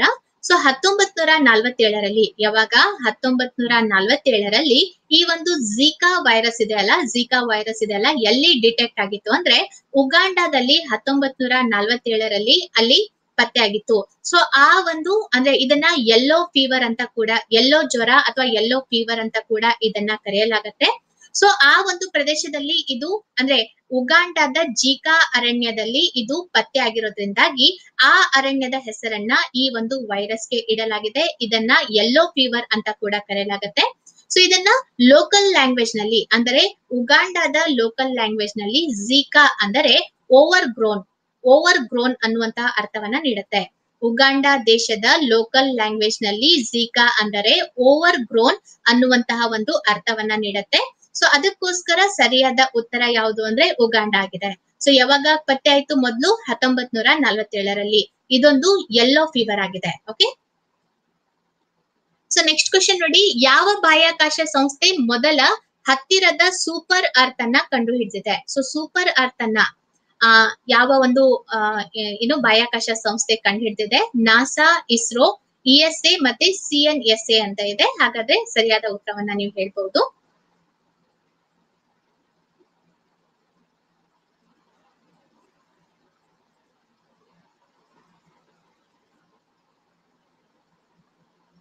ಓಕೆ ಸೊ ಈ ಒಂದು ಪ್ರಶ್ನೆಗೆ ಆಲ್ಮೋಸ್ಟ್ ಸರಿಯಾದ ಉತ್ತರವನ್ನ ನೀಡಿದ್ದೀರಾ? ಸೊ ಸರಿಯಾದ ಉತ್ತರ ಇದೆಯಲ್ಲ NASA the National Aeronautics and Space Administration NASA ಇದೆ ಅಲ್ಲ. ಸೊ ಸೂಪರ್ ಅರ್ತ್ ಅನ್ನ ಕಂಡು ಹಿಡಿದಂತಹ ಮೊದಲ ಬಾಹ್ಯಾಕಾಶ ಸಂಸ್ಥೆ ಆಗಿದೆ ಸೊ ಈ ಒಂದು ಸೂಪರ್ ಅರ್ತ್ ಇದೆಯಲ್ಲ ಇಲ್ಲಿ ಕೂಡ ಜೀವಿಗಳು ಬದುಕಲು ಸಾಧ್ಯವಾಗುವಂತ ಒಂದು ವಾತಾವರಣವನ್ನ ಹೊಂದಿರುವ ಗ್ರಹವನ್ನ ನಾಸಾ ಕಂಡು ಹಿಡಿದಿದೆ ಸೊ ಈ ಒಂದು ಟೀಮ್ ಇದೆಯಲ್ಲ ಇಂಟರ್ ನ್ಯಾಷನಲ್ ಅಸ್ಟ್ರೋನಾಮರ್ಸ್ ಅನೌನ್ಸ್ಡ್ ಅಂದ್ರೆ ಈ ಒಂದು ಇಂಟರ್ ನ್ಯಾಷನಲ್ ಅಸ್ಟ್ರೋನಾಮರ್ಗಳ ಒಂದು ಟೀಮ್ ಇದೆ ಅಲ್ಲ. ಸೊ ಈ ಒಂದು ಸೂಪರ್ ಅರ್ತ್ ಇರೋದನ್ನ ಅಂದ್ರೆ ಜೀವಿಗಳು ಬದುಕಲು ಯೋಗ್ಯವಾದಂತಹ ವಾತಾವರಣ, ವಾತಾವರಣವನ್ನ ಹೊಂದಿರುವಂತಹ ಒಂದು ಪ್ಲಾನೆಟ್ ಇದೆ ಅಂತ. ಸೊ ಆ ಪ್ಲಾನೆಟ್ ಹೆಸರೇನು ಅಂತ ಯಾರಾದ್ರೂ ಹೇಳ್ತೀರಾ? ಸೊ ಆ ಪ್ಲಾನೆಟ್ ಅನ್ನ ಏನಂತ ಹೆಸರಿಲ್ಲ ಇಡಲಾಗಿದೆ ಅಂತ ಹೇಳ್ತೀರಾ?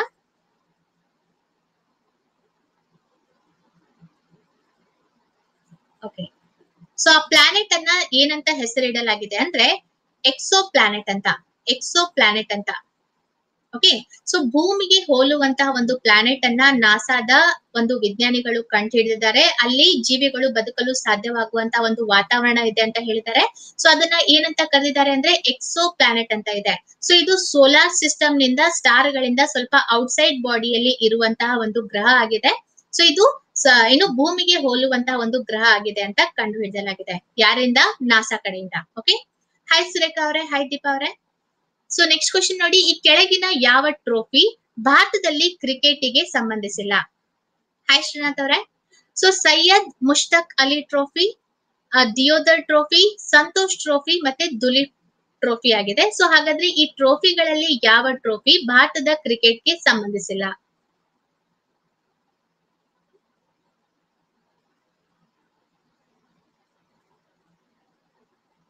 ಸೊ ಇದೆ two thousand ನೈನ್ಟೀನ್ನಲ್ಲಿ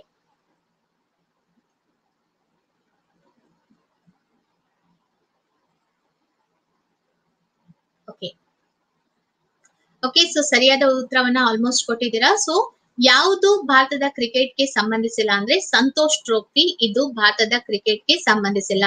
so ಉಳ್ಕಿದ್ದು Syed Mushtaq Ali trophy, Deodhar trophy, Duleep trophy ಇದೆಲ್ಲ ಸೊ ಭಾರತದ ಕ್ರಿಕೆಟ್ಗೆ ಸಂಬಂಧಿಸಿದಂತ ಒಂದು ಟ್ರೋಫಿ ಆಗಿದೆ.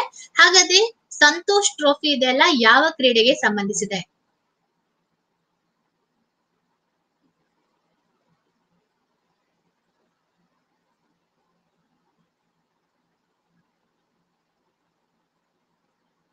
ಓಕೆ ಸರಿಯಾಗಿದೆ. ಸೊ ಸೊ ಈ ಒಂದು ಇದೆ ಅಲ್ಲ ಸೊ ಕರೆಕ್ಟ್ ಆಗಿದೆ. ಸೊ ಸಂತೋಷ್ ಟ್ರೋಫಿ ಇದೆ ಅಲ್ಲ, ಇದು ಪ್ರಮುಖವಾಗಿ ಫುಟ್ಬಾಲ್ ಕ್ರೀಡೆಗೆ ಸಂಬಂಧಿಸಿದಂತಹ ಒಂದು ಟ್ರೋಫಿ ಆಗಿದೆ. ಸೊ ಸಂತೋಷ್ ಟ್ರೋಫಿ ಇದೆ ಅಲ್ಲ? ಪ್ರಮುಖವಾಗಿ ಯಾವಾಗ ಸ್ಟಾರ್ಟ್ ಮಾಡಲಾಯ್ತು ಅಂದ್ರೆ ಹತ್ತೊಂಬತ್ ನೂರ ನಲವತ್ತೊಂದರಲ್ಲಿ ಸ್ಟಾರ್ಟ್ ಮಾಡಲಾಯ್ತು. ಸೊ ಮೊದಲು ಮೂವತ್ತೊಂದು ಟೀಮ್ಗಳು ಪಾರ್ಟಿಸಿಪೇಟ್ ಮಾಡಿತ್ತು ಆ ಒಂದು ಟೂರ್ನಮೆಂಟ್ ಅಲ್ಲಿ. ಓಕೆ ಸೊ ಅದಕ್ಕೋಸ್ಕರ ಆಪ್ಷನ್ ಸಿ ಸರಿಯಾದ ಉತ್ತರ. Indo Tibetan border police ITBP raising ದಿನವನ್ನ ಯಾವಾಗ ಆಚರಿಸಲಾಗತ್ತೆ? ಇಪ್ಪತ್ನಾಲ್ಕು ಅಕ್ಟೋಬರ್, ಇಪ್ಪತ್ತೈದು ಅಕ್ಟೋಬರ್, ಇಪ್ಪತ್ತಾರು ಅಕ್ಟೋಬರ್ ಮತ್ತೆ ಇಪ್ಪತ್ತೇಳು ಅಕ್ಟೋಬರ್ ಅಂತ ಇದೆ. ಸೊ ಸರಿಯಾದ ಉತ್ತರವನ್ನ ನೀವು ಹೇಳ್ಬಹುದು. ಓಕೆ ವಿಕಾಸ್ ಅವರೇ, ಈ ಸಲದ ಅವಾರ್ಡ್ ಅನ್ನ ನಾನು ಈಗಾಗಲೇ ಹೇಳಿದ್ದೀನಿ. ಬೇಕಾದ್ರೆ ಇನ್ನು ನಾಳೆ ಬೇಕಾದ್ರೆ ಕವರ್ ಮಾಡ್ತೀನಿ. ಓಕೆ ಸೊ ನಾನು ಈ ತಿಂಗಳು ಕ್ಲಾಸ್ ಅನ್ನ ತಗೋತಾ ಇದ್ದೀನಿ. ಆಲ್ಮೋಸ್ಟ್ ಬಹಳಷ್ಟು ಕ್ಲಾಸ್ ಗಳನ್ನ.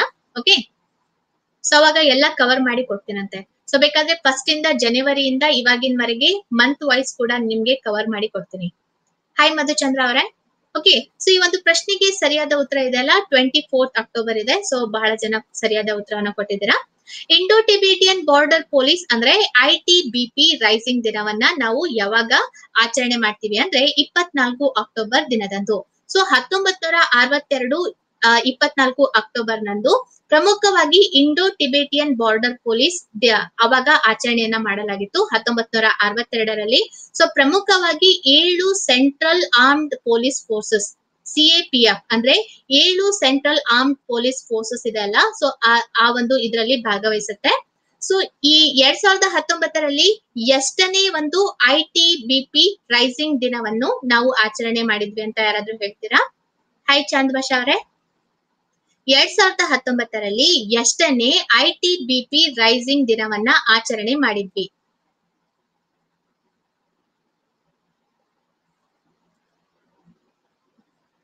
ಓಕೆ, ಸೊ ನೋಡಿ ಐವತ್ತೆಂಟನೇ, ಸೊ ಐವತ್ತೆಂಟನೆಯ ರೈಸಿಂಗ್ ಡೇ ಅನ್ನ ಐವತ್ತೆಂಟನೆಯ I T B P raising ದಿನವನ್ನ ಆ, ನಾವು ಎರಡ್ ಸಾವಿರದ ಹತ್ತೊಂಬತ್ತರ ಇಪ್ಪತ್ನಾಲ್ಕು ಅಕ್ಟೋಬರ್ ನಂದು ಆಚರಣೆಯನ್ನ ಮಾಡಿದ್ವಿ. ಸೊ ಪ್ರಮುಖವಾಗಿ ಐ ಟಿ ಪಿ ಕುರಿತಾಗಿ ಅದರ, ಅವು, ಅವರಿಗೆ ಒಂದು ಮಾರಲ್ ಸಪೋರ್ಟ್ ಗಳನ್ನ ಕೊಡ್ಲಿಕ್ಕೋಸ್ಕರ ಮತ್ತೆ ಅವೇರ್ನೆಸ್ ಅನ್ನ ಮೂಡಿಸ್ಲಿಕ್ಕೋಸ್ಕರ. ಸೊ ಮಧುಚಂದ್ರ ಅವರೇ ಅಷ್ಟು ಐಡಿಯಾ ಇಲ್ಲ. ನಾನು ಹೇ, ನೋಡಿ ಹೇಳ್ತೇನಂತೆ ಓಕೆನಾ ಸೊ ಟ್ವೆಂಟಿ ಫೋರ್ತ್ ಅಕ್ಟೋಬರ್ ಸರಿಯಾದ ಉತ್ತರ. ನೆಕ್ಸ್ಟ್ ಕ್ವಶನ್ ನೋಡಿ, ಮೊಟ್ಟ ಮೊದಲ ಜಾಗತಿಕ ಜೈವಿಕ ಭಾರತ ಎರಡ್ ಸಾವಿರದ ಹತ್ತೊಂಬತ್ತರ ಶೃಂಗಸಭೆಯನ್ನ ಯಾವ ನಗರ ಆಯೋಜಿಸುತ್ತಿದೆ? ಜೈಪುರ್, ಪುಣೆ, ನವದೆಹಲಿ ಮತ್ತೆ ಬೆಂಗಳೂರು ಅಂತ ಇದೆ. ಸೊ ನಿಮ್ಮ ಆನ್ಸರ್ ಅನ್ನ ಹೇಳ್ಬಹುದು ಹಾಯ್ ಸಾಗರ್ ಅವರೇ.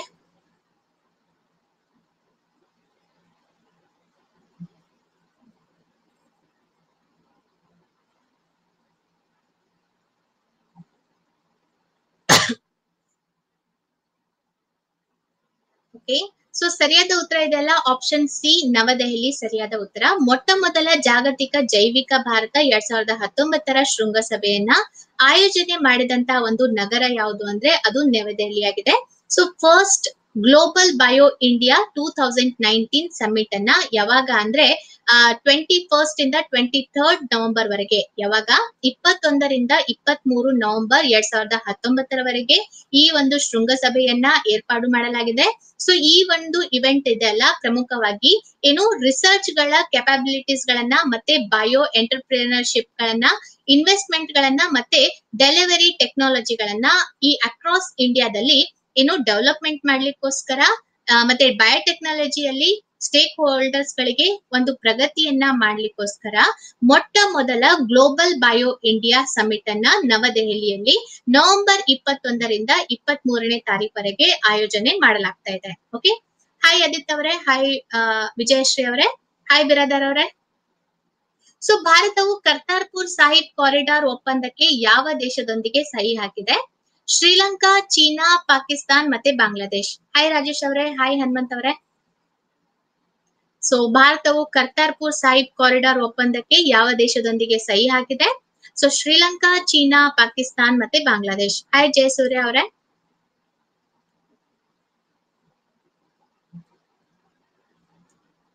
ಓಕೆ ಸೊ ಈ ಒಂದು ಪ್ರಶ್ನೆಗೆ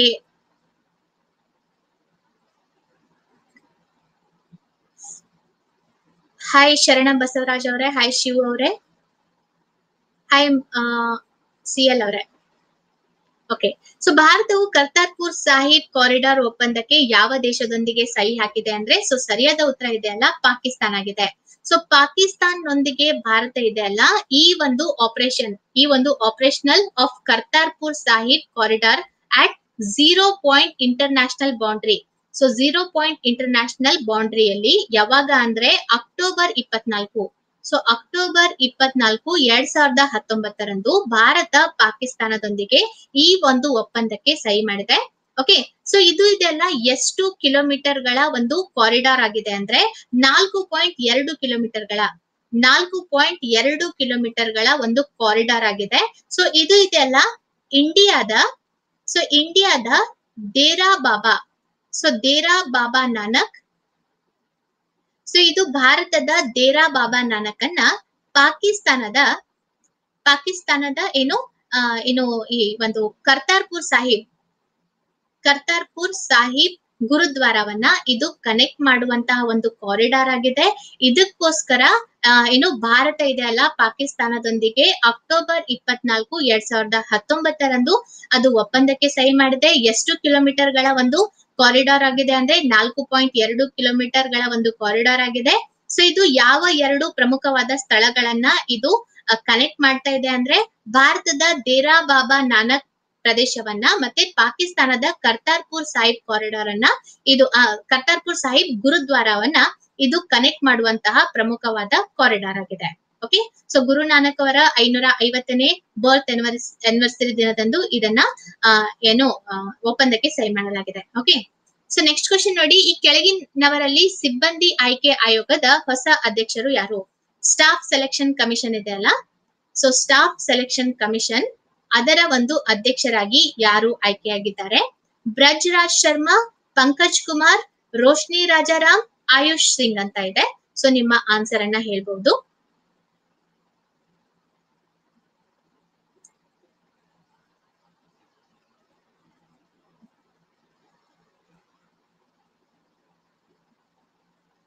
ಓಕೆ ಸೊ ಹಾಗಾದ್ರೆ ಸರಿಯಾದ ಉತ್ತರ ಇದೆ ಅಲ್ಲ ಬ್ರಜ್ ರಾಜ್ ಶರ್ಮಾ ಅವರು ಆಗಿದ್ದಾರೆ. ಸೊ ಬ್ರಜ್ ರಾಜ್ ಶರ್ಮಾ ಅವರು ಏನಾಗಿದ್ರು ಅಂತ ಯಾರಿಗಾದ್ರೂ ಐಡಿಯಾ ಇದೆಯಾ? ಬ್ರಜ್ ರಾಜ್ ಶರ್ಮಾ ಏನಾಗಿದ್ರು ಅಂತ ಐಡಿಯಾ ಇದೆಯಾ?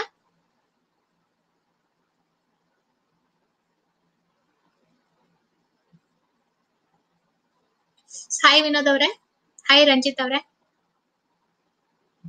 ಓಕೆ ಸೊ ನೋಡಿ ಬ್ರಜ್ ರಾಜ್ ಶರ್ಮಾ ಅವರು ಇದಾರಲ್ಲ ಸೊ ಹತ್ತೊಂಬತ್ ನೂರ ಎಂಬತ್ನಾಲ್ಕರ ಬ್ಯಾಚ್ನ ಐ ಎ ಎಸ್ ಆಫೀಸರ್ ಆಗಿದ್ದಾರೆ. ಸೊ ಜಮ್ಮು ಮತ್ತು ಕಾಶ್ಮೀರದ ಕೆಡರ್ನ ಹತ್ತೊಂಬತ್ ನೂರ ಎಂಬತ್ನಾಲ್ಕನ, ಎಂಬತ್ನಾಲ್ಕರ ಬ್ಯಾಚ್ನ ಐ ಎಸ್ ಆಫೀಸರ್ ಆಗಿದ್ದಾರೆ. ಸೊ ಇವರು ಈ ಒಂದು ಎರಡ್ ಸಾವಿರದ ಹತ್ತೊಂಬತ್ತರಲ್ಲಿ ಎಸ್ ಎಸ್ ಸಿ ಅಂದ್ರೆ ಸ್ಟಾಫ್ ಸೆಲೆಕ್ಷನ್ ಕಮಿಷನ್ನ ಹೊಸ ಅಧ್ಯಕ್ಷರಾಗಿ ಯಾರನ್ನ? ಸೊ ಬ್ರಜ್ ರಾಜ್ ಶರ್ಮಾ ಅವರನ್ನ ಆಯ್ಕೆ ಮಾಡಲಾಗಿದೆ. ಬ್ರಜ್ ರಾಜ್ ಶರ್ಮಾ ಅವರಕ್ಕಿಂತ ಮುಂಚೆ ಇದ್ದಂತಹ ವ್ಯಕ್ತಿ ಯಾರು ಅಂತ ಹೇಳ್ತೀರಾ? ಹೈ ಕೌಶಲ್ಯ ಅವರೇ. ಸೊ ಎಸ್ ಎಸ್ ಸಿಯ ಮಾಜಿ ಅಧ್ಯಕ್ಷರು ಯಾರು? ಬ್ರಜ್ ರಾಜ್ ಶರ್ಮಾ ಅವರಕ್ಕಿಂತ ಮುಂಚೆ ಇದ್ದಂತಹ ಅಧ್ಯಕ್ಷರು ಯಾರಾಗಿದ್ರು? ಹಾಯ್ ಶಿವ ಅವರೇ. ಓಕೆ ಸರಿಯಾದ ಉತ್ತರ ಇದೆಯಲ್ಲ ಪಂಕಜ್ ಕುಮಾರ್. ಪಂಕಜ್ ಕುಮಾರ್ ಇದ್ದಾರಲ್ಲ? ಸೊ ಪಂಕಜ್ ಕುಮಾರ್ ಇದ್ದಾರಲ್ಲ ಪ್ರಮುಖವಾಗಿ. ಸೊ ಅವರಿದ್ರು. ಓಕೆ ಸೊ ಅದೇ ರೀತಿಯಾಗಿ ಇವಾಗ ಪಂಕಜ್ ಕುಮಾರ್ ಅವರು ಇದಾರಲ್ಲ, ಈ ಒಂದು U I D A I U I D A I ನ ಒಂದು ಏನು ಅಧ್ಯಕ್ಷರಾಗಿ ಆಯ್ಕೆಯಾಗಿದ್ದಾರೆ ಇವಾಗ ಈ ಒಂದು ಸ್ಟಾಫ್ ಸೆಲೆಕ್ಷನ್ ಕಮಿಷನ್ನ ಹೊಸ ಅಧ್ಯಕ್ಷರಾಗಿ ಯಾರು ಆಯ್ಕೆಯಾಗಿದ್ದಾರೆ ಬ್ರಜ್ ರಾಜ್ ಶರ್ಮಾ. ಓಕೆ ಸೊ ವಿಶ್ವ ಪೋಲಿಯೋ ದಿನವನ್ನ ಯಾವಾಗ ಆಚಾ, ಯಾವಾಗ, ಆ, ಯಾವ ದಿನದಂದು ಆಚರಿಸಲಾಗುತ್ತೆ? ಓಕೆ ಅಕ್ಟೋಬರ್ ಇಪ್ಪತ್ತೆರಡು ಅಕ್ಟೋಬರ್ ಇಪ್ಪತ್ತೈದು ಅಕ್ಟೋಬರ್ ಇಪ್ಪತ್ತ್ ಮೂರು ಮತ್ತೆ ಅಕ್ಟೋಬರ್ ಇಪ್ಪತ್ನಾಲ್ಕು ಅಂತ ಇದೆ. ಸೊ ಹಾಗಾದ್ರೆ ಯಾವಾಗ ವಿಶ್ವ ಪೋಲಿಯೋ ದಿನವನ್ನ ನಾವು ಆಚರಣೆ ಮಾಡ್ತೀವಿ?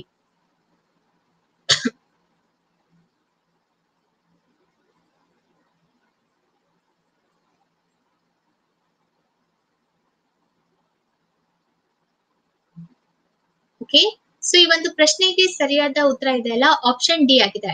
ಸೊ ಪ್ರತಿ ವರ್ಷ ಅಕ್ಟೋಬರ್ ಇಪ್ಪತ್ನಾಲ್ಕರಂದು ವರ್ಲ್ಡ್ ಪೋಲಿಯೋ ಡೇ ಅನ್ನ ಸೆಲೆಬ್ರೇಟ್ ಮಾಡ್ತೀವಿ. ಸೊ ಯಾವ ಒಂದು ಉದ್ದೇಶಕ್ಕೋಸ್ಕರ ಅಂದ್ರೆ ಈ ಒಂದು ದಿನವನ್ನ ಪ್ರಮುಖವಾಗಿ ಪೋಲಿಯೋ ಕುರಿತಾಗಿ ಅವೇರ್ನೆಸ್ ನನ್ನ ನೀಡ್ಲಿಕ್ಕೋಸ್ಕರ ಮತ್ತೆ ಇದನ್ನ ಹೋಗಲಾಡಿಸಲು ಮಾಡ್ಲಿಕ್ಕೋಸ್ಕರ ಮತ್ತೆ ಜಾಗೃತಿ ಮೂಡ್- ಮೂಡಿಸ್ಲಿಕ್ಕೋಸ್ಕರ ಪ್ರತಿ ವರ್ಷ ಅಕ್ಟೋಬರ್ ಇಪ್ಪತ್ನಾಲ್ಕರಂದು ವಿಶ್ವ ಪೋಲಿಯೋ ದಿನವನ್ನ ನಾವು ಆಚರಣೆ ಮಾಡ್ತೀವಿ. ಓಕೆ ಸೊ ಹಾಗಾದ್ರೆ ಎರಡ್ ಸಾವಿರದ ಹತ್ತೊಂಬತ್ತನೇ ಸಾಲಿನ ವಿಶ್ವ ಪೋಲಿಯೋ ದಿನದ ಥೀಮ್ ಏನಾಗಿತ್ತು? ಹಾಯ್ ಅಂಬಿಕಾ ಅವರೇ. ಸೊ ಎರಡ್ ಸಾವಿರದ ಹತ್ತೊಂಬತ್ತನೇ ಸಾಲಿನ ವಿಶ್ವ ಪೋಲಿಯೋ ದಿನದ ಥೀಮ್ ಏನಾಗಿತ್ತು?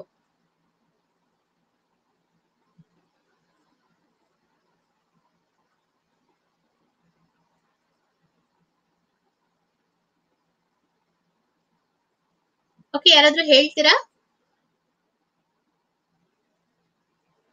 ಓಕೆ ಸೊ ಓಕೆ ಸೊ ನೋಡಿ ಎರಡ್ ಸಾವಿರದ ಹತ್ತೊಂಬತ್ತನೇ ಸಾಲಿನ ಅಕ್ಟೋಬರ್ ಇಪ್ಪತ್ನಾಲ್ಕರಂದು ನಾವು ಆಚರಣೆ ಮಾಡಿದಂತಹ ವಿಶ್ವ ಪೋಲಿಯೋ ದಿನದ ಥೀಮ್ ಏನಾಗಿತ್ತು ಅಂದರೆ stories of progress stories of progress past and present for world polio day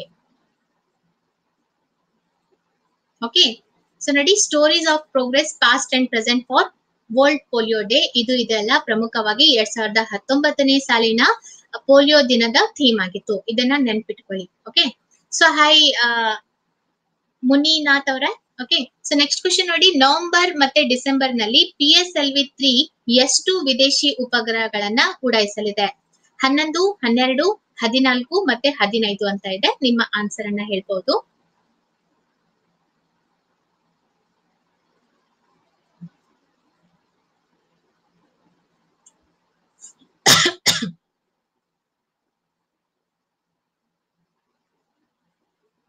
okay so almost ಎಲ್ಲರೂ ಸರಿಯಾದ ಉತ್ತರನ ಕೊಟ್ಟಿದ್ದೀರಾ? ಸೊ ಸರಿಯಾದ ಉತ್ತರ ಹದಿನಾಲ್ಕು. Okay so P S L V full form ಏನು? P S L V full form ಏನು?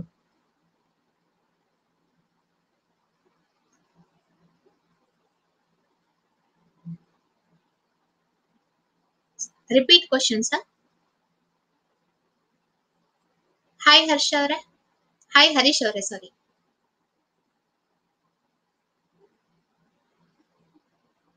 okay so polar satellite launching vehicle ಸರಿಯಾದ ಉತ್ತರ. So P S L V three ಇದೆ ಅಲ್ಲ ನವೆಂಬರ್ ಮತ್ತೆ ಡಿಸೆಂಬರ್ನಲ್ಲಿ. ಓಕೆ ಎಲ್ಲರೂ ಸರಿಯಾದ ಉತ್ತರವನ್ನ ಕೊಟ್ಟಿದ್ದೀರಾ?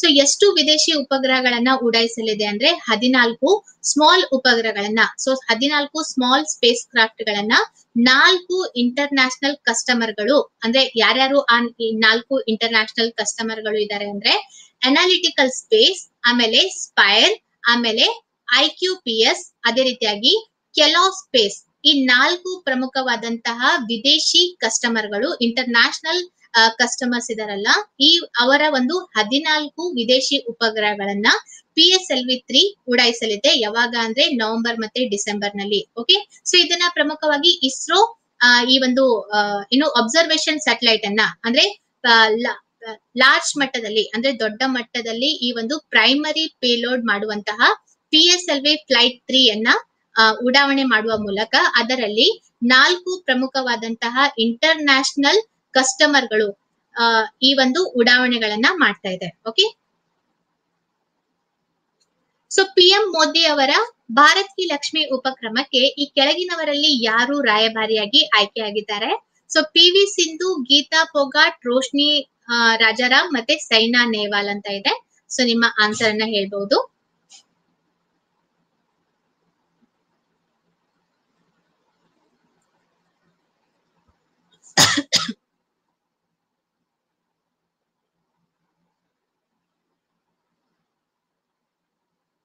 ಓಕೆ ಸೊ ಈ ಒಂದು ಪ್ರಶ್ನೆಗೆ ಸರಿಯಾದ ಉತ್ತರ ಅಂದ್ರೆ ಸೊ ಎಲ್ಲರೂ ಆಲ್ಮೋಸ್ಟ್ ಸರಿಯಾದ ಉತ್ತರವನ್ನ ಕೊಟ್ಟಿದ್ದೀರಾ? P V Sindhu so okay so P M Modi ಅವರ ಭಾರತ್ ಕಿ ಲಕ್ಷ್ಮಿ ಉಪಕ್ರಮಕ್ಕೆ ರಾಯಭಾರಿಯಾಗಿ ಇಬ್ಬರು ಮಹಿಳೆಯರನ್ನ ಆಯ್ಕೆ ಮಾಡಲಾಗಿದೆ.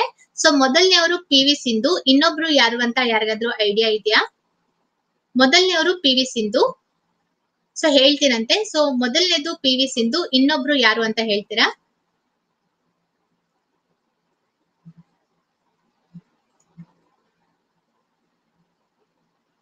ಓಕೆ ಸೊ ಕರೆಕ್ಟ್ ಇದೆ ಆದರ್ಶ್ ಅವರೇ, ಮತ್ತೆ ಹರೀಶ್ ಅವರೇ, ಮತ್ತೆ ಶ್ರೀಹರ್ಷ ಅವರೇ, ಬಿರಾದಾರ್ ಅವರೇ. ಸೊ ಪಿ ಎಂ ಮೋದಿ ಅವರ ಭಾರತ್ ಕಿ ಲಕ್ಷ್ಮಿ ಉಪಕ್ರಮಕ್ಕೆ ಪ್ರಮುಖವಾಗಿ ಇಬ್ಬರು ಮಹಿಳೆಯರನ್ನ ರಾಯಭಾರಿಯಾಗಿ ಆಯ್ಕೆ ಮಾಡಲಾಗಿತ್ತು.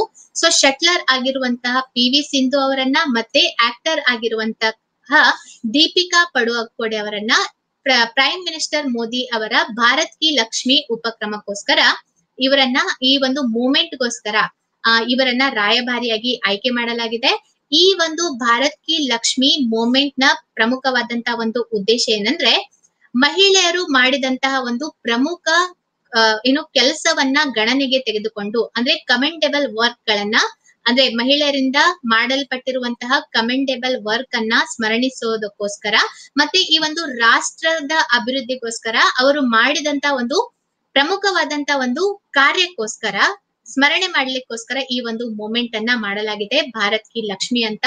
ಯಾವಾಗ ಅಂದ್ರೆ ದಿವಾಲಿ ಫೆಸ್ಟಿವಲ್ ನಂದು ಇದನ್ನ ಸ್ಟಾರ್ಟ್ ಮಾಡಲಾಗಿದೆ. ಸೊ ಇದರ ಮೂಲಕ ಭಾರತೀಯ ಮಹಿಳೆಯರಿಗೆ ಗೌರವ ಸಲ್ಲಿಸ್ಲಿಕ್ಕೋಸ್ಕರ ಭಾರತ್ ಕಿ ಲಕ್ಷ್ಮಿ ಅನ್ನುವಂತ ಮೂಮೆಂಟ್ ಅನ್ನ ಸ್ಟಾರ್ಟ್ ಮಾಡಿದ್ದಾರೆ. ಇಬ್ಬರು ರಾಯಭಾರಿ ಇದ್ದಾರೆ. ಯಾರು ಅಂದ್ರೆ ಪಿ ವಿ ಸಿಂಧು ಮತ್ತೆ ಯಾರು Deepika Padukone. Okay so U I D A I ನ ಹೊಸ ಸಿಇಒ ಯಾರು? So Sandeep Jain Pankaj Kumar M R Mehta ಮತ್ತೆ ವೈಭವ್ ಕಪೂರ್ ಅಂತ ಇದೆ. ಸೊ ಹಾಗಾದ್ರೆ ಸರಿಯಾದ ಉತ್ತರ ಏನು?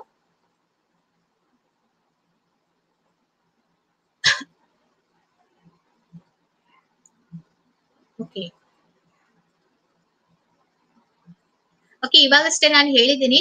ಆದ್ರೂ ಓಕೆ ಸೊ ಸರಿಯಾದ ಉತ್ತರ ಇದೆಲ್ಲ ಪಂಕಜ್ ಕುಮಾರ್ ಇದೆ. So U I D I ನ ಹೊಸ ಸಿಇಒ ಆಗಿ ಯಾರನ್ನ ಆಯ್ಕೆ ಮಾಡಲಾಗಿದೆ ಅಂದ್ರೆ ಪಂಕಜ್ ಕುಮಾರ್ ಅವರನ್ನ ಆಯ್ಕೆ ಮಾಡಲಾಗಿದೆ. ಸೊ ಹಾಗಾದ್ರೆ U I D A D A I ನ ಫುಲ್ ಫಾರ್ಮ್ ಏನು? Okay so U I D A ನ ಹೊಸ ಸಿಇಒ ಆಗಿ ಪಂಕಜ್ ಕುಮಾರ್ ಅವರು ಆಯ್ಕೆಯಾಗಿದ್ದಾರೆ ಸೊ ಪಂಕಜ್ ಕುಮಾರ್ ಅವರು ಯಾರು ಅಂದ್ರೆ ಹತ್ತೊಂಬತ್ ನೂರ ಎಂಬತ್ತೇಳರ ಬ್ಯಾಚ್ನ ಐ ಎಸ್ ಆಫೀಸರ್ ಆಗಿದ್ರು. ಸೊ ಇವರು ನೂತನವಾಗಿ ಸೊ ಇವರು ಏನು? ಸೊ ನೂತನವಾಗಿ U I D A I ನ ಸಿಇಒ ಆಗಿ ಆಯ್ಕೆಯಾಗಿದ್ದಾರೆ. ಓಕೆ ಸೊ ಅದನ್ನ ನೀವೇ ಹೇಳ್ಬೇಕು. ನೆಕ್ಸ್ಟ್ ಕ್ವಶನ್ ನೋಡಿ, ಸ್ವರಣ್ ಸಿಂಗ್ ಸಮಿತಿಯ ಶಿಫಾರಸುಗಳ ಮೇಲೆ ಭಾರತದ ಸಂವಿಧಾನದಲ್ಲಿ ಈ ಕೆಳಗಿನವುಗಳಲ್ಲಿ ಯಾವುದು ಸೇರಿಸಲ್ಪಟ್ಟಿದೆ? ಓಕೆ ಹಾಯ್ ಅಂಬರೀಶ್ ಅವರೇ.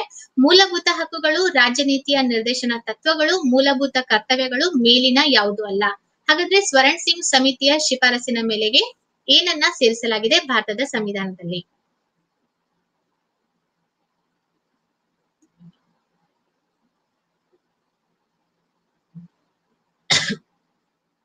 ಓಕೆ ಸೊ ಸರಿಯಾದ ಪ್ರಶ್ ಉತ್ತರ ಇದೆ ಅಲ್ಲ, ಮೂಲಭೂತ ಕರ್ತವ್ಯಗಳನ್ನ. ಸೊ ಮೂಲಭೂತ ಕರ್ತವ್ಯಗಳನ್ನ ಪ್ರಮುಖವಾಗಿ ಸ್ವರಣ್ ಸಿಂಗ್ ಸಮಿತಿಯ ಶಿಫಾರಸಿನ ಮೇಲೆಗೆ ಅದನ್ನ ಏನು ಮೂಲಭೂತ ಕರ್ತವ್ಯಗಳನ್ನ ಸೇರಿಸಲಾಯಿತು ಫಂಡಮೆಂಟಲ್ ಡ್ಯೂಟೀಸ್ ಗಳನ್ನ ಇದರ ಕುರಿತಾಗಿ ಸಂಕ್ಷಿಪ್ತವಾಗಿ ಹೇಳ್ಬೇಕಂದ್ರೆ, ನಮ್ಮ ಮೂಲ ಸಂವಿಧಾನದಲ್ಲಿ ಮೂಲಭೂತ ಕರ್ತವ್ಯಗಳ ಕುರಿತಾಗಿ ಯಾವುದೇ ಉಲ್ಲೇಖ ಇರಲಿಲ್ಲ. ಆದ್ರೆ ಈ ಒಂದು ಇಂದಿರಾ ಗಾಂಧಿ ಸರ್ಕಾರ ಇದ್ದಂತ ಒಂದು ಸಂದರ್ಭದಲ್ಲಿ ತುರ್ತು ಪರಿಸ್ಥಿತಿ ಘೋಷಣೆ ಆಗತ್ತೆ. ಆ ಒಂದು ಸಂದರ್ಭದಲ್ಲಿ ಕಾಂಗ್ರೆಸ್ ಸರ್ಕಾರಕ್ಕೆ ಮೂಲಭೂತ ಕರ್ತವ್ಯಗಳ ಒಂದು ಅವಶ್ಯಕತೆ ಎಷ್ಟು ಇದೆ ಅನ್ನೋದನ್ನ ಅವರು ಪರಿಗಣನೆಗೆ ತೆಗೆದುಕೊಳ್ತಾರೆ. ಸೊ ಅದಕ್ಕೋಸ್ಕರ ಮೂಲಭೂತ ಕರ್ತವ್ಯಗಳನ್ನ ಶಿಫಾರಸು ಮಾಡಬೇಕು ಅಂತ ಆ ಒಂದು ಟೈಮ್ನಲ್ಲಿ ಕ್ಯಾಬಿನೆಟ್ ಸಚಿವ ಆಗಿರುವಂತಹ ಸ್ವರಣ್ ಸಿಂಗ್ ಸಮಿತಿ, ಸ್ವರಣ್ ಸಿಂಗ್ ಅವರ ಒಂದು ನೇತೃತ್ವದಲ್ಲಿ ಈ ಒಂದು ಸಮಿತಿಯನ್ನ ಏನು ಶಿಫಾರಸು ಮಾಡಲಾಗುತ್ತೆ. ಈ ಸಮಿತಿ ಇದೆಯಲ್ಲ ಆರು ಸಾರಿ ಎಂಟು ಪ್ರಮುಖವಾದಂತಹ ಮೂಲಭೂತ ಕರ್ತವ್ಯಗಳನ್ನ ಇದು ಶಿಫಾರಸು ಮಾಡುತ್ತೆ.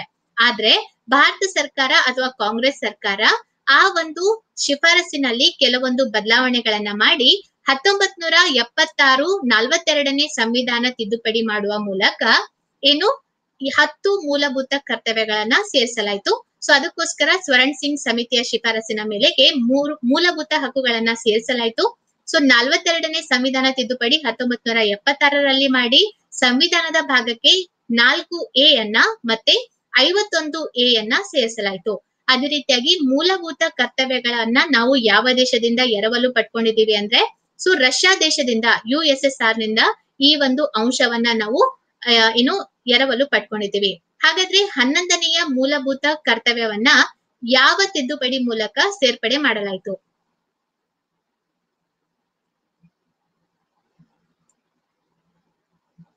ಓಕೆ ಓಕೆ ಎಷ್ಟನೇ ತಿದ್ದುಪಡಿಯಲ್ಲಿ ಹನ್ನೊಂದನೆಯ ಮೂಲಭೂತ ಕರ್ತವ್ಯವನ್ನ ಸೇರಿಸಲಾಯಿತು? ಇದನ್ನ ಬಹಳ ಸಲ ಕೇಳಲಾಗಿದೆ. ಓಕೆ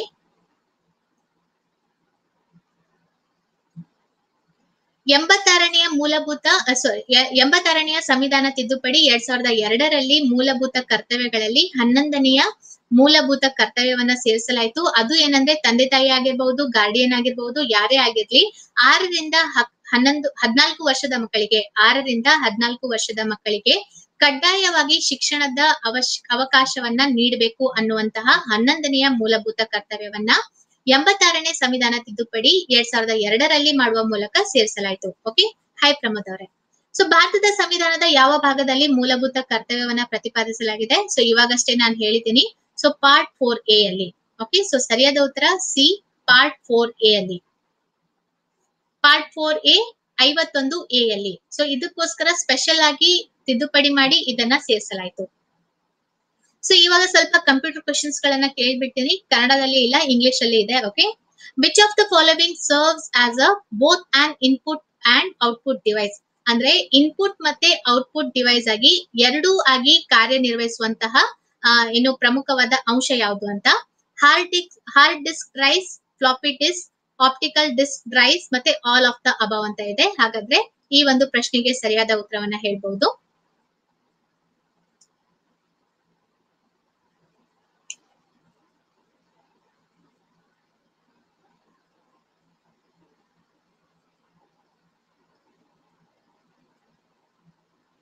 ಓಕೆ ಸೊ ಈ ಒಂದು ಪ್ರಶ್ನೆಗೆ ಸರಿಯಾದ ಉತ್ತರ ಇದೆ ಅಲ್ಲ? ಡಿ ಆಗಿದೆ. ಆಲ್ ದ ಅಬೌವ್ ಸೊ ಈ ಹಾರ್ಡ್ ಡಿಸ್ಕ್ ಡ್ರೈವ್ ಆಗಿರ್ಬಹುದು ಫ್ಲಾಪಿ ಡಿಸ್ಕ್ ಆಗಿರ್ಬಹುದು ಆಪ್ಟಿಕಲ್ ಡಿಸ್ಕ್ ಡ್ರೈವ್ ಆಗಿರ್ಬಹುದು ಈ ಮೂರು ಡಿವೈಸ್ಗಳು ಇದೆ ಅಲ್ಲ? ಏನು ಇನ್ಪುಟ್ ಮತ್ತೆ ಔಟ್ಪುಟ್ ಡಿವೈಸ್ ಆಗಿ ವರ್ಕ್ ಆಗತ್ತೆ? ಅದಕ್ಕೋಸ್ಕರ ಆಲ್ ದ ಅಬೌವ್ ಸರಿಯಾದ ಉತ್ತರ. ಓಕೆ ನೆಕ್ಸ್ಟ್ ಕ್ವಶನ್ ನೋಡಿ.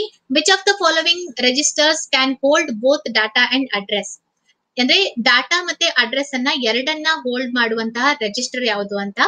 General purpose register data register address register ಮತ್ತೆ ಸ್ಟೇಟಸ್ ರಿಜಿಸ್ಟರ್ ಅಂತ ಇದೆ. ನಿಮ್ಮ ಆನ್ಸರ್ನ ಹೇಳ್ಬಹುದು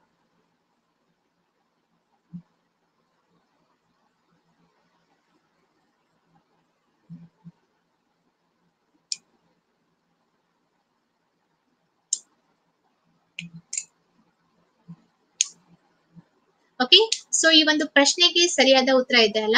ಈ ಒಂದು ಪ್ರಶ್ನೆಗೆ ಸರಿಯಾದ ಉತ್ತರ ಆಪ್ಷನ್ ಎ ಆಗಿದೆ. ಜನರಲ್ ಪರ್ಪಸ್ ರಿಜಿಸ್ಟರ್ ಇದೆ ಅಲ್ಲ? ಅದು ಡಾಟಾ ಅನ್ನ ಕೂಡ ಸ್ಟೋರ್ ಮಾಡುತ್ತೆ, ಅದೇ ರೀತಿಯಾಗಿ ಅಡ್ರೆಸ್ ಅನ್ನ ಕೂಡ ಅದು ರಿಜಿಸ್ಟರ್ ಮಾಡುತ್ತೆ. ಯಾವುದು ಅಂದ್ರೆ general purpose register so how are registered measured ಅಂದ್ರೆ ಈ ರಿಜಿಸ್ಟರ್ಗಳು ಯಾವ ರೀತಿಯಾಗಿ ಮೆಜರ್ ಮಾಡಲಾಗತ್ತೆ ಅಂತ?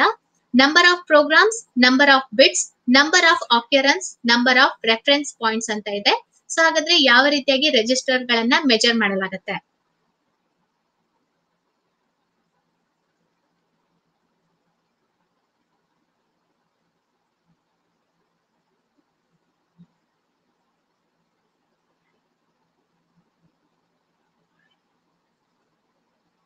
ಓಕೆ ಸೊ ಈ ಒಂದು ಪ್ರಶ್ನೆಗೆ ಸರಿಯಾದ ಉತ್ತರ ಇದೆ ಅಲ್ಲ number of bits number of ಬಿಟ್ಸ್ಗಳು ಇದೆ ಅಲ್ಲ ರೆಜಿಸ್ಟರ್ ಅನ್ನ ಮೆಜರ್ ಮಾಡ್ಲಿಕ್ಕೆ ಬಳಸುವಂತದ್ದು ನಂಬರ್ ಆಫ್ ಬಿಟ್ಸ್ ಓಕೆ ಇದು ಸರಿಯಾದ ಉತ್ತರ.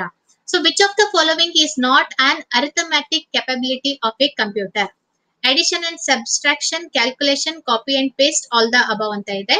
ಸೊ ನಿಮ್ಮ ಆನ್ಸರ್ ಅನ್ನ ಹೇಳ್ಬಹುದು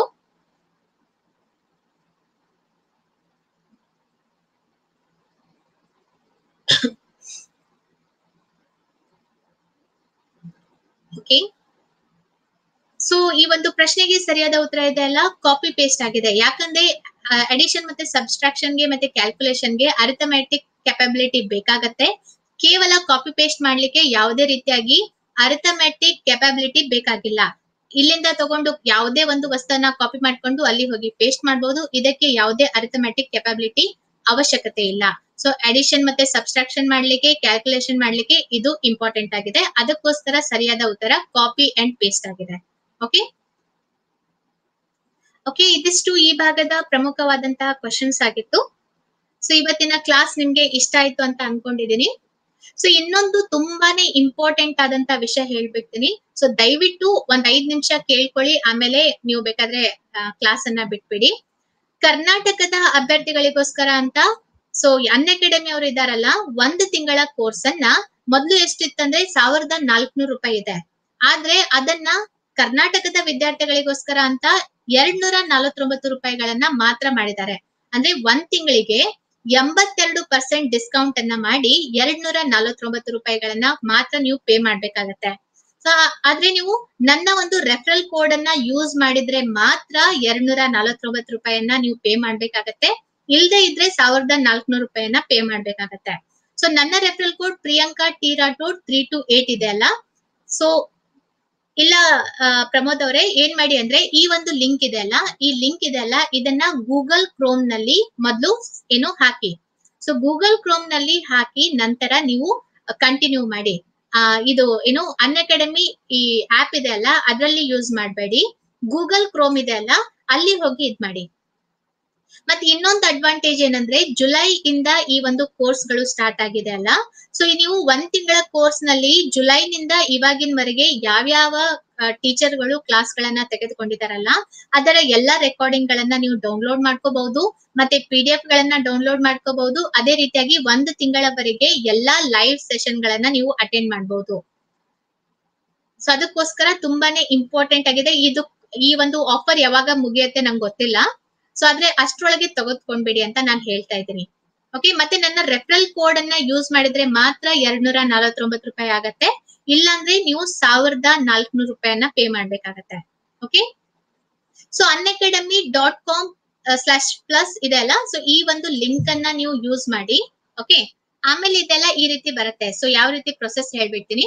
ಸೊ ಆ ಲಿಂಕ್ ಅನ್ನ ಗೂಗಲ್ ಕ್ರೋಮ್ನಲ್ಲಿ, ನಾನು ಹೇಳ್ತೀನಿ ನೋಡಿ ಗೂಗಲ್ ಕ್ರೋಮ್ನಲ್ಲಿ ಅದನ್ನ ಸರ್ಚ್ ಮಾಡಿ.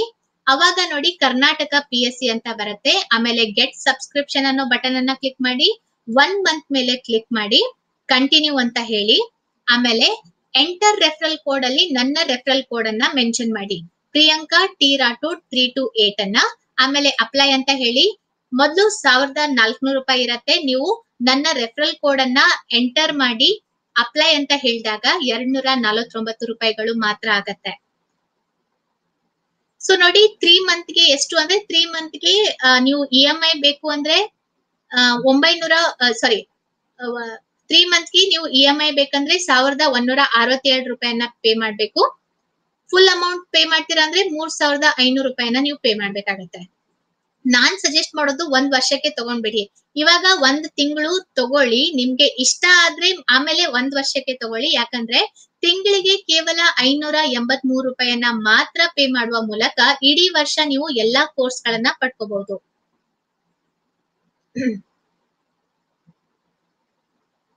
ಹಾ, ನೋಡಿ ಎಥಿಕ್ಸ್ ಕ್ಲಾಸ್ಗಳು ಕೂಡ ಇಲ್ಲಿ ಬಹಳ ಇದೆ. ಸೊ ಎಥಿಕ್ಸ್ ಕ್ಲಾಸ್ ಗಳನ್ನ ಕೂಡ ನಮ್ಮ ಎಜುಕೇಟರ್ಗಳು ತೆಗೆದುಕೊಂಡಿದ್ದಾರೆ. ನೀವು ಒಂದ್ ವೇಳೆ ಒಂದ್ ತಿಂಗಳ ಅಥವಾ ಒಂದ್ ವರ್ಷಕ್ಕೆ ಜಾಯಿನ್ ಆಗ್ಬಿಟ್ರೆ ನಿಮ್ಗೆ ಆ ಕ್ಲಾಸ್ಗಳ ರೆಕಾರ್ಡಿಂಗ್ ಕೂಡ ಸಿಗತ್ತೆ. ಅದೇ ರೀತಿಯಾಗಿ ನಿಮ್ಗೆ ಪಿ ಡಿ ಎಫ್ಗಳು ಕೂಡ ಸಿಗತ್ತೆ. ಹಾಯ್ ಬಸವರಾಜ್ ಅವರೇ. ಸೊ ನಿಮ್ಗೆ ಏನೇ ಡೌಟ್ ಇದ್ರು ಕೂಡ ಇವಾಗ ಕೇಳಿ ನಿಮ್ಗೆ ನಾನು ಹೆಲ್ಪ್ ಮಾಡ್ತೇನಂತೆ. ಸೊ ಯಾವ ರೀತಿ ಜಾಯಿನ್ ಆಗ್ಬೇಕು ನೋಡಿ, ಬಹಳ ಕಡಿಮೆ ಮಾಡಿದ್ದಾರೆ. ಓಕೆ ವಾಯ್ಸ್ ಬ್ರೇಕ್ ಆಗ್ತಿದೆ ಅಂದ್ರೆ ಸೊ ದಯವಿಟ್ಟು ರಿಫ್ರೆಶ್ ಮಾಡ್ಕೊಳ್ಳಿ ಕೌಶಲ್ಯ ಅವರೇ. ಓಕೆ ಸೊ ನಿಮ್ಗೆ ಏನೇ ಕೇಳೋದಿದ್ರು ಕೇಳ, ಹಾ, ಆ ರೀತಿ ಆಗಲ್ಲ. ಪ್ರಮೋದ್ ಅವರೇ, ಆ ರೀತಿ ಆಗಲ್ಲ. Two forty nine into twelve ಆಗಲ್ಲ. ಇದು ಕೇವಲ ಒಂದು ತಿಂಗಳು ಮಾತ್ರ. ಒಂಥರ ನಿಮ್ಗೆ ಡೆಮೋ ತರ ಅಂತಾನೆ ಅನ್ಕೊಳ್ಳಿ. ನಿಮ್ಗೆ ಬಹಳ ಜನರಿಗೆ ಆನ್ಲೈನ್ ಕ್ಲಾಸ್ಗಳು ಯಾವ ರೀತಿ ವರ್ಕ್ ಆಗತ್ತೆ ಅಂತ ಗೊತ್ತಿಲ್ಲ ಅಲ್ಲ? ಅದಕ್ಕೋಸ್ಕರ ಒಂದು ತಿಂಗಳ ಕೋರ್ಸ್ಗೆ ಮಾತ್ರ ಎರಡ್ ನೂರ ನಲವತ್ತೊಂಬತ್ತು ರೂಪಾಯಿಯನ್ನ ಮಾಡಿದ್ದಾರೆ. ಸೊ ಕೌಶಲ್ಯ ಅವರ ಎರಡ್ ನೂರ ನಲವತ್ತೊಂಬತ್ತು ರೂಪಾಯಿ ಒಬ್ಬರಿಗೆ ಅಲ್ಲ, ನೀವು ಕೇವಲ ಎರಡ್ ನೂರ ನಲವತ್ತು ನಲವತ್ತೊಂಬತ್ತು ರೂಪಾಯಿನ ನನ್ ಕಡೆ ಪೇ ಮಾಡಿದ್ರೆ ಉಳಿದ ಹದಿನೇಳು ಎಜುಕೇಟರ್ಗಳ ಕ್ಲಾಸ್ ಅನ್ನ ಕೂಡ ನೀವು ನೋಡ್ಬಹುದು ಓಕೆ ಒನ್ ಮಂತ್ ಹಾ. ಒನ್ ಮಂತ್ಗೋಸ್ಕರ ಹಾಯ್ ಬಸವರಾಜ್ ಅವರೇ. ಸೊ ಏನೇ ಡೌಟ್ ಇದ್ರು, ಏನೇ ಇದ್ರು ಕೇಳ್ಕೊಳ್ಳಿ. ಇದು ತುಂಬಾನೇ ಚೆನ್ನಾಗಿರುವಂತ ಆಫರ್ ಇದೆ. ಇದನ್ನ ಯೂಸ್ ಮಾಡ್ಕೊಳ್ಳಿ. ಹಿಂದಿನ ಎಲ್ಲಾ ಕ್ಲಾಸ್ಗಳ ರೆಕಾರ್ಡಿಂಗ್ಗಳು ಸಿಗತ್ತೆ. ಪಿ ಡಿ ಎಫ್ ಗಳನ್ನ ಡೌನ್ಲೋಡ್ ಮಾಡ್ಕೋಬಹುದು ಜುಲೈ ಇಂದ ಹಿಡ್ಕೊಂಡು. ಸೊ ಅದಕ್ಕೋಸ್ಕರ ಈ ಆಫರ್ ಯಾವಾಗ ಮುಗಿದ್ರೆ ಆಮೇಲೆ ಮತ್ತೆ ಕಷ್ಟ ಪಡ್ಬೇಕಾಗತ್ತೆ ಇವಾಗ ಎರಡ್ ನೂರ ನಲವತ್ತೊಂಬತ್ತು ರೂಪಾಯಲ್ಲಿ ಓಕೆ ಎಥಿಕ್ಸ್ನ ಆದಷ್ಟು ಹೇಳಲಿಕ್ಕೆ ನಾನು ಪ್ರಯತ್ನ ಪಡ್ತೀನಂತೆ. ಓಕೆ ಹಾಯ್ ರಂಜಿತಾ ಅವರೇ.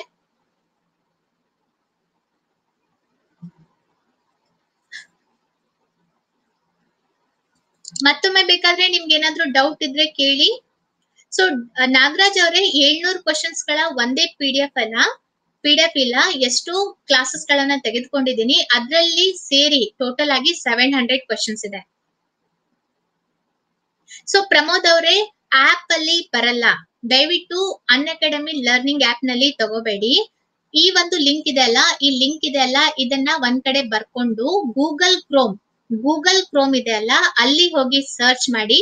ಆಮೇಲೆ ನೀವು ಈ ಒಂದು ಕ್ಲಾಸ್ಗೆ ಸಬ್ಸ್ಕ್ರಿಪ್ಷನ್ ತಗೊಳ್ಳಿ.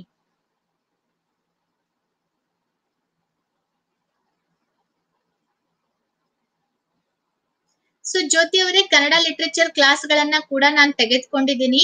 ಅದರ ಒಂದು ರೆಕಾರ್ಡಿಂಗ್ ಕೂಡ ಇದೆ. ಅದೇ ರೀತಿಯಾಗಿ ಏನು ಪಿ ಡಿ ಎಫ್ಗಳು ಕೂಡ ಇದೆ. ಸೊ ನಾನು K set assistant professor I A S ಮತ್ತು ಕೆ ಎಸ್ ಎಕ್ಸಾಮ್ಗೆ ರಿಲೇಟೆಡ್ ಆಗಿರುವಂತಹ ಕನ್ನಡ ಲಿಟ್ರೇಚರ್ ಕ್ಲಾಸ್ ಅನ್ನ ಕೂಡ ತೆಗೆದುಕೊಂಡಿದ್ದೀನಿ. ಅದನ್ನ ಕೂಡ ನೀವು ಇದರಲ್ಲಿ ನೀವು ಪಡ್ಕೋಬಹುದು. ಓಕೆ ಮತ್ತೇನಾದ್ರೂ ಕೇಳೋದಿದ್ರೆ ಕೇಳ್ಬಹುದು ಮತ್ತೆ ನೋಡಿ ಅನ್ ಅಕಾಡೆಮಿ ಪ್ಲಸ್ ಪ್ಲಾಟ್ಫಾರ್ಮ್ಗೆ ಹೋಗಿ ಏನ್ ಮಾಡ್ಬೇಕಂದ್ರೆ ನೀವು ಲ್ಯಾಪ್ಟಾಪ್ಗೆ ಲ್ಯಾಪ್ಟಾಪ್ ಅಲ್ಲಿ ಅಥವಾ ಕಂಪ್ಯೂಟರ್ ಯೂಸ್ ಮಾಡಿದ್ರೆ ಬೇಗ ಬೇಗ ನಿಮ್ಗೆ ಗೊತ್ತಾಗತ್ತೆ. ಸೊ ನೀವು ಏನು ಈ ರೀತಿ ಚಿತ್ರ, ಅಂದ್ರೆ ಫೋಟೋಸ್ಗಳು ಬರ್ತಾ ಇರತ್ತಲ್ಲ ಎಲ್ಲಾ ಎಜುಕೇಟರ್ ಗಳದು. ಸೊ ಪ್ರಿಯಾಂಕಾ ರಾಠೋಡ್ ಅಂತ ನೋಡಿ ಪ್ರಿಯಾಂಕಾ ರಾಠೋಡ್ ಮೇಲೆ ಕ್ಲಿಕ್ ಮಾಡಿ ಆ ಹೆಸರು ಮೇಲೆ. ಆಮೇಲೆ ಇಲ್ಲೊಂದು ವಿಡಿಯೋ ಓಪನ್ ಆಗತ್ತೆ. ಸೊ ಅಂದ್ರೆ ನಿನ್ನೆ ಕ್ಲಾಸ್ ಅಥವಾ ಹಿಂದಿನ ಕ್ಲಾಸ್ ಇವತ್ತಿನ ಕ್ಲಾಸ್ ವಿಡಿಯೋ ಇಲ್ಲಿ ಬರ್ತಾ ಇರತ್ತೆ. ಈ ವಿಡಿಯೋ ಮೇಲ್ಭಾಗದಲ್ಲಿ ಸಿ ಆಲ್ ಅಂತ ಇದೆ. ವಿಡಿಯೋ ಮೇಲ್ಭಾಗದಲ್ಲಿ ಸಿ ಆಲ್ ಅಂತ ಬಟನ್ ಬರುತ್ತೆ. ಅದನ್ನ ಕ್ಲಿಕ್ ಮಾಡಿ. ಆಮೇಲೆ ಇಷ್ಟು ದಿನ ನಾನು ತೆಗೆದುಕೊಂಡಿರುವ ಎಲ್ಲಾ ಸ್ಪೆಷಲ್ ಕ್ಲಾಸ್ಗಳ ಒಂದು ಲಿಂಕ್ಗಳು ಅಲ್ಲಿರುತ್ತೆ. ಸೊ, ಪ್ರತಿಯೊಂದು ಕ್ಲಾಸ್ನ ಲಿಂಕ್ ಅನ್ನ ಕ್ಲಿಕ್ ಮಾಡಿ. ಕೆಳಗೆ ಡೌನ್ಲೋಡ್ ಪಿ ಡಿ ಎಫ್ ಅಂತ ಬರುತ್ತೆ. ಸೊ, ಡೌನ್ಲೋಡ್ ಮಾಡ್ಕೊಳ್ಳಿ. ಹಾಯ್ ಮಹೇಶ್ ಅವರೇ. ಓಕೆ ಸೊ ನೋಡಿ. ಅನ್ ಅಕಾಡೆಮಿಯ ಪ್ಲಸ್ ಪ್ಲಾಟ್ಫಾರ್ಮ್ ಇದೆ ಅಲ್ಲ? ಸೊ ನೀವು ಲ್ಯಾಪ್ಟಾಪ್ ಅಲ್ಲಿ ಅಥವಾ ಕಂಪ್ಯೂಟರ್ ಅಲ್ಲಿ ಸರ್ಚ್ ಮಾಡಿ ಈಸಿಯಾಗಿ ಸಿಕ್ಬಿಡತ್ತೆ. ಓಕೆ ಸೊ ಲಿಂಕ್ ಇದೆ ಅಲ್ಲ Unacademy plus dot com ಅಂತ. ಅದನ್ನ ಕ್ಲಿಕ್ ಮಾಡಿ. ಅದರಲ್ಲಿ ಕರ್ನಾಟಕ ಪಿ ಎಸ್ ಸಿ ಅಂತಿದೆ ಅಲ್ಲ, ಅದನ್ನ ಸೆಲೆಕ್ಟ್ ಮಾಡಿ. ಎಜುಕೇಟರ್ಗಳ ಒಂದು ಫೋಟೋ ಮತ್ತೆ ಹೆಸರು ಬರ್ತಾ ಇರತ್ತೆ. ಅದರಲ್ಲಿ ಪ್ರಿಯಾಂಕಾ ರಾಠೋಡ್ ಅಂತ ಬರುತ್ತೆ. ಪ್ರಿಯಾಂಕಾ ರಾಠೋಡ್ ಮೇಲೆ ಕ್ಲಿಕ್ ಮಾಡಿ. ಹೆಸರು ಮೇಲೆ ಕ್ಲಿಕ್ ಮಾಡಿ. ಆಮೇಲೆ ನನ್ನ ಒಂದು ಪ್ರೊಫೈಲ್ ಓಪನ್ ಆಗತ್ತೆ. ಈ ಪ್ರೊಫೈಲ್ ಓಪನ್ ಆದಾಗ ಇಲ್ಲಿ ನನ್ನ ಒಂದು ವಿಡಿಯೋ ಲಿಂಕ್ ಇರುತ್ತೆ. ಅಂದ್ರೆ ಇಲ್ಲಿ ಇವಾಗ ಯಾವ ರೀತಿ ವಿಡಿಯೋ ಲಿಂಕ್ ನಡೀತಿದೆ ಅಲ್ಲ? ಸೊ ಒಂದು ವಿಡಿಯೋ ಇಲ್ಲಿ ನಡೀತಾ ಇರುತ್ತೆ. ಈ ವಿಡಿಯೋ ಮೇಲ್ಭಾಗದಲ್ಲಿ ಸಣ್ಣದಾಗಿ ಸಿ ಆಲ್ ಅಂತ ಬರ್ದಿದ್ದಾರೆ. ಸಣ್ಣದಾಗಿ ಸಿ ಆಲ್ ಅಂತ ಬರ್ದಿದ್ದಾರೆ. ಆ ಬಟನ್ನ ಕ್ಲಿಕ್ ಮಾಡಿದ್ರೆ ನನ್ನ ಹಿಂದಿನ ಎಲ್ಲಾ ಕ್ಲಾಸ್ಗಳ ವಿಡಿಯೋಗಳು ಅಲ್ಲಿ ದೊರೆಯುತ್ತೆ. ಸೊ ಒಂದೊಂದೇ ಲಿಂಕ್ ಅನ್ನ ನೀವು ಕ್ಲಿಕ್ ಮಾಡ್ತಾ ಹೋದಾಗ ಸೊ ಒಂದೊಂದೇ ಲಿಂಕ್ ಅನ್ನ ಕ್ಲಿಕ್ ಮಾಡ್ತಾ ಹೋದಾಗ ಅದನ್ನ ಓಪನ್ ಮಾಡಿ, ಆಮೇಲೆ ಡೌನ್ಲೋಡ್ ಪಿ ಡಿ ಎಫ್ ಅನ್ನುವಂತ ಬಟನ್ ಅಲ್ಲಿ ಸಿಗತ್ತೆ. ಅದನ್ನ ಡೌನ್ಲೋಡ್ ಮಾಡ್ಕೊಳ್ಳಿ. ಓಕೆ ಸೊ ಮತ್ತೇನಾದ್ರೂ ಕೇಳೋದಿದ್ರೆ ಕೇಳ್ಬಹುದು ಮತ್ತೆ ಇದೊಂದು ಅವಕಾಶವನ್ನ ಮಿಸ್ ಮಾಡ್ಕೋಬೇಡಿ ಅಂತ ಹೇಳ್ತಾ ಇದೀನಿ ಯಾಕಂದ್ರೆ ಹಿಂದಿನ ಎಲ್ಲಾ ಕ್ಲಾಸ್ ಗಳನ್ನ ಕೂಡ ನೀವು ಡೌನ್ಲೋಡ್ ಮಾಡ್ಕೋಬಹುದು ರೆಕಾರ್ಡಿಂಗ್ ನೋಡ್ಬಹುದು ಮತ್ತೆ ಎಷ್ಟೋ ಹದಿನೇಳು ಕ್ಲಾಸ್ ಹದಿನೇಳು ಎಜುಕೇಟರ್ಗಳ ಕ್ಲಾಸ್ ಅನ್ನ ನೀವು ಅಟೆಂಡ್ ಮಾಡಬಹುದು ಒಂದು ತಿಂಗಳು ಇಷ್ಟ ಆದ್ಮೇಲೆ ಇನ್ನು ಜಾಯಿನ್ ಆಗ್ತೀರಾ ಅಂದ್ರೆ ಆಮೇಲೆ ಬೇಕಾದ್ರೆ ಒಂದ್ ವರ್ಷದ ತಗೊಳ್ಳಿ. ಯಾಕಂದ್ರೆ ಇ ಎಂ ಐ ಅನ್ನ ಬಳಸುವ ಮೂಲಕ ಕೇವಲ ತಿಂಗಳಿಗೆ ಐನೂರ ಎಂಬತ್ ಮೂರು ರೂಪಾಯಿಯನ್ನ ಪೇ ಮಾಡ್ಬೇಕಾಗತ್ತೆ. ಓಕೆ ಸೊ ಮತ್ತೇನಾದ್ರೂ ಕೇಳ್ಬೇಕಿದ್ರೆ ಕೇಳ್ಬಹುದು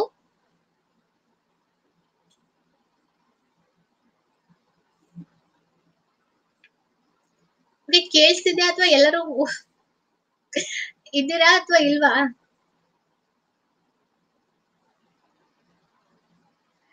ಓಕೆ ಸೊ ಕ್ಲಾಸ್ ಅನ್ನ ಓಕೆ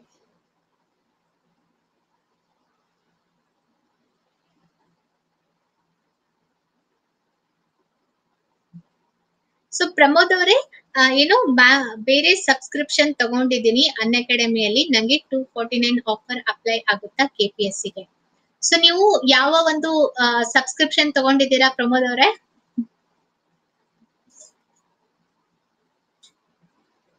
ಓಕೆ ಸೊ ರೈಲ್ವೆ ತಗೊಂಡಿದ್ದೀರಾ? ಸೊ ಮೇ ಬಿ ನೀವು ಕರ್ನಾಟಕ ಪಿ ಎಸ್ ಸಿ ಅಂತ ಸರ್ಚ್ ಮಾಡಿ, ಆಮೇಲೆ ಬೇಕಾದ್ರೆ ಅಪ್ಲೈ ಆಗ್ಬಹುದು ಅಥವಾ ನಾನ್ ಕೊಟ್ಟಿರುವ ಲಿಂಕ್ ಇದೆ ಅಲ್ಲ, ಈ ಲಿಂಕ್ ಅನ್ನ ನೋಟ್ ಡೌನ್ ಮಾಡ್ಕೊಳ್ಳಿ. ಈ ಲಿಂಕ್ ಅನ್ನ ಗೂಗಲ್ ಕ್ರೋಮ್ ಅಲ್ಲಿ ಹಾಕಿ, ಅವಾಗ ಕರ್ನಾಟಕ ಪಿ ಎಸ್ ಸಿ ಅಂತ ಬರುತ್ತೆ, ಅವಾಗ ನಿಮ್ಗೆ ಇದಾಗತ್ತೆ ಅಪ್ಲೈ ಆಗತ್ತೆ.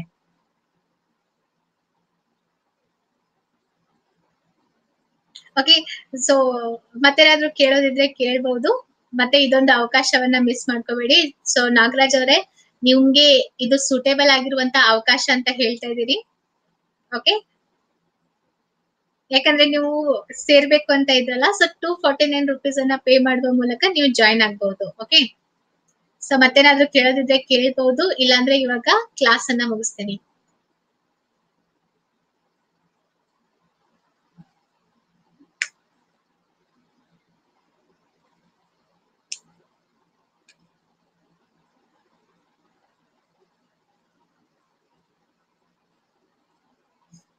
ಸೊ ಪ್ರಮೋದ್ ಅವರೇ ಹಾಗೆ ಎಲ್ಲರೂ ಹೋಗ್ಬಿಟ್ಟಿದ್ದೀರೇನೋ ಅಂತ ನಗು ಬರ್ತಾ ಇತ್ತು, ಒಬ್ಳೆ ಮಾತಾಡ್ತಿದ್ದೀರೇನೋ ಅಂತ okay so thank you so much ಎಲ್ಲರೂ ಕ್ಲಾಸ್ ಅನ್ನ ಅಟೆಂಡ್ ಮಾಡಿ, ಇದನ್ನ ಯಶಸ್ವಿಗೊಳಿಸೋದಕ್ಕೋಸ್ಕರ ತುಂಬಾನೇ ಧನ್ಯವಾದಗಳು ಓಕೆ ನೆಕ್ಸ್ಟ್ ಕ್ಲಾಸ್ನಲ್ಲಿ ಬೇರೆ ಟಾಪಿಕ್ ಅನ್ನ ತೆಗೆದುಕೊಂಡು ನಾನು ಕ್ಲಾಸ್ ಅನ್ನ ಮಾಡ್ತೀನಿ. ನಿಮ್ಗೆ ನನ್ನ ಕ್ಲಾಸ್ಗಳು ಇಷ್ಟ ಆಗ್ತಿದೆ, ಅರ್ಥ ಆಗ್ತಿದೆ ಅಂತ ಅನ್ಕೊಂಡಿದ್ದೀನಿ ಓಕೆ ಸೊ ಹಾಯ್ ಆದಿತ್ಯ ಅವ್ರ, ಏನ್ ಹೇಳ್ತಿದ್ದೀರಾ? Bank two forty nine is only for your subject for all ಇಲ್ಲ, ಎಲ್ಲರಿಗೂ ಸೇರಿ ಟೂ ಫಾರ್ಟಿ ನೈನ್ ಹದಿನೇಳು ಜನರ ಸಬ್ಜೆಕ್ಟ್ ಸೇರಿ ಟೂ ಫಾರ್ಟಿ ನೈನ್ ನಂದೊಬ್ಳದ್ದೇ ಅಲ್ಲ ಫಾರ್ ಆಲ್ ಹಾ ಪಿ ಡಿ ಎಫ್ ಅನ್ನ ಕೂಡ ಡೌನ್ಲೋಡ್ ಮಾಡ್ಕೋಬಹುದು. ಪಿ ಡಿ ಎಫ್ ಗಳನ್ನ ಡೌನ್ಲೋಡ್ ಮಾಡ್ಕೋಬಹುದು ರೆಕಾರ್ಡಿಂಗ್ ಗಳನ್ನ ಡೌನ್ಲೋಡ್ ಮಾಡ್ಕೋಬಹುದು. ಓಕೆ ಸೊ ಬೇಗ ಜಾಯಿನ್ ಆಗ್ಬಿಡಿ. ಯಾಕಂದ್ರೆ ಆ ಆಫರ್ ಯಾವಾಗ ಮುಗಿಯುತ್ತೆ ಅಂತ ನನ್ಗೂ ಐಡಿಯಾ ಇಲ್ಲ. ಯಾಕಂದ್ರೆ ಮೊದಲು ಸೆವೆನ್ ಡೇಸ್ ಫ್ರೀ ಟ್ರಯಲ್ ಅಂತ ಬಂದಿತ್ತು. ಅದು ಬೇಗ ಮುಗ್ದೋಗಿತ್ತು. ಸೊ ಎಷ್ಟೋ ಜನ ಅದನ್ನ ಯೂಸ್ ಮಾಡ್ಕೊಂಡ್ರು. ಆದ್ರೆ ಎಷ್ಟೋ ಜನ ಯೂಸ್ ಮಾಡ್ಕೊಳ್ದೆ ಹೋದ್ರು. ಆದ್ರೆ ಇವಾಗ ಕೇವಲ ಟೂ ಫೋರ್ಟಿ ನೈನ್ ಅನ್ನ ಪೇ ಮಾಡಿ. ಆದ್ರೆ ನನ್ನ ರೆಫರಲ್ ಕೋಡ್ ಅನ್ನ ಯೂಸ್ ಮಾಡಿದ್ರೆ ಮಾತ್ರ ನಿಮ್ಗೆ ಟೂ ಫೋರ್ಟಿ ನೈನ್ ಆಗತ್ತೆ. ಇಲ್ಲಾಂದ್ರೆ ಥೌಸಂಡ್ ಫೋರ್ ಹಂಡ್ರೆಡ್ ಅನ್ನ ನೀವು ಪೇ ಮಾಡ್ಬೇಕಾಗತ್ತೆ. ಸೊ ನನ್ನ ರೆಫರಲ್ ಕೋಡ್ ಅನ್ನ ಯೂಸ್ ಮಾಡ್ಕೊಳ್ಳಿ. Priyanka T Rathod three two eight okay so ಮತ್ತೇನು ಇಲ್ಲ ಅಂದ್ರೆ ಇವಾಗ ಕ್ಲಾಸ್ ಅನ್ನ ಮುಗಿಸ್ಲಾ?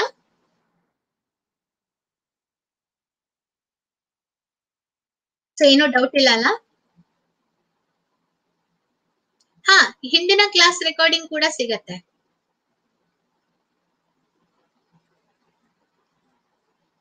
ಹಿಂದಿನ ಕ್ಲಾಸ್ ರೆಕಾರ್ಡಿಂಗ್ ಕೂಡ ಸಿಗತ್ತೆ ಪಿ ಡಿ ಎಫ್ ಸಿಗತ್ತೆ ರೆಕಾರ್ಡಿಂಗ್ಸ್ ಎಲ್ಲ ಸಿಗತ್ತೆ. ಓಕೆ ಸೊ ಇಲ್ಲಿದೆ ನೋಡಿ ಲಿಂಕ್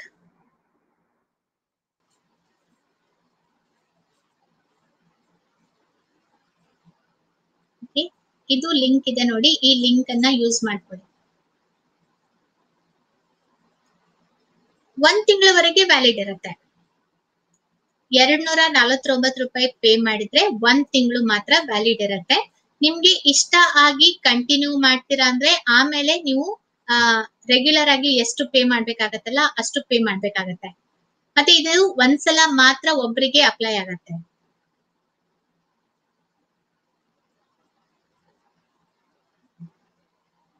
ಹಾ ತ್ರೀ ಟು ಏಟ್ ಇದೆ.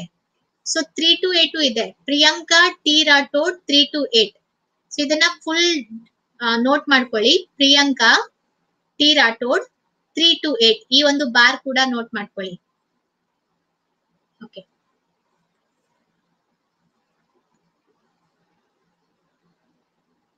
ಓಕೆ ಮತ್ತೇನಾದ್ರೂ ಕೇಳೋದಿದ್ರೆ ಕೇಳ್ಬಹುದು ಇಲ್ಲಾಂದ್ರೆ ನಾನು ಇವಾಗ ಕ್ಲಾಸ್ ಅನ್ನ ಮುಗಿಸ್ತೀನಿ. ಏನು ಡೌಟ್ ಇಲ್ಲ ಅಂತ ನೀವು ಹೇಳ್ಬಿಟ್ರೆ ನಾನು ಕ್ಲಾಸ್ ಅನ್ನ ಮುಗಿಸ್ತೀನಿ. ಮತ್ತೆ ಅದೇ ರೀತಿಯಾಗಿ ಯೂಟ್ಯೂಬ್ ಕ್ಲಾಸ್ ಗಳನ್ನ ಕೂಡ ನಾನು ಸ್ಟಾರ್ಟ್ ಮಾಡಿದ್ದೀನಿ. ಯೂಟ್ಯೂಬ್ ನಾನು ಹೇಳಿದ್ನಲ್ಲ ಅನ್ ಅಕಾಡೆಮಿ ಕಡೆಯಿಂದ ಯೂಟ್ಯೂಬ್ ಕ್ಲಾಸ್ ಗಳನ್ನ ನಾವು ಸ್ಟಾರ್ಟ್ ಮಾಡ್ತಾ ಇದೀವಿ ಅಂತ. ಸೊ ಎರಡ್ ದಿನ ಆಯ್ತು ಯೂಟ್ಯೂಬ್ ಕ್ಲಾಸ್ ಗಳನ್ನ ನಾವು ತಗೋತಾ ಇದ್ದೀವಿ.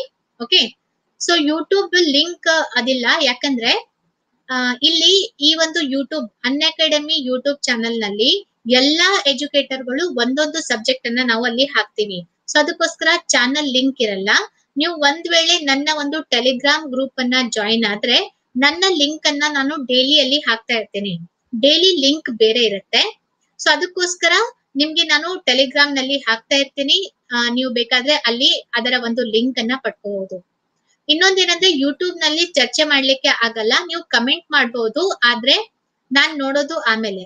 ಇಲ್ಲಿ ಬೇಕಾದ್ರೆ ನೀವು ಚರ್ಚೆಯನ್ನ ಮಾಡಬಹುದು ಸೊ ಟೆಲಿಗ್ರಾಮ್ ಹೆಸರಿದೆ ಅಲ್ಲ, ಸ್ಪರ್ಧಾತ್ಮಕ ಅಧ್ಯಯನ. ಕನ್ನಡದಲ್ಲಿ ಸ್ಪರ್ಧಾತ್ಮಕ ಅಧ್ಯಯನ ಅಂತ ನೀವು ಟೆಲಿಗ್ರಾಮ್ ಗ್ರೂಪ್ನಲ್ಲಿ ಸರ್ಚ್ ಮಾಡಿ, ಅದರಲ್ಲಿ ಓಪನ್ ಗ್ರೂಪ್ ಇದೆ ಜಾಯಿನ್ ಆಗಬಹುದು okay so KAS mains full class ಇನ್ನು ಸ್ಟಾರ್ಟ್ ಮಾಡಿಲ್ಲ. ಅದೇ ಕ್ಲಾಸ್ ಅನ್ನ ಸ್ಟಾರ್ಟ್ ಮಾಡ್ತಾರೆ. ಇನ್ನು ಸ್ಟಾರ್ಟ್ ಮಾಡಿಲ್ಲ. ಇವಾಗ ಎಲ್ಲಾ ಕ್ಲಾಸ್ ಗಳನ್ನ ತಗೋತಾ ಇದ್ದೀವಿ.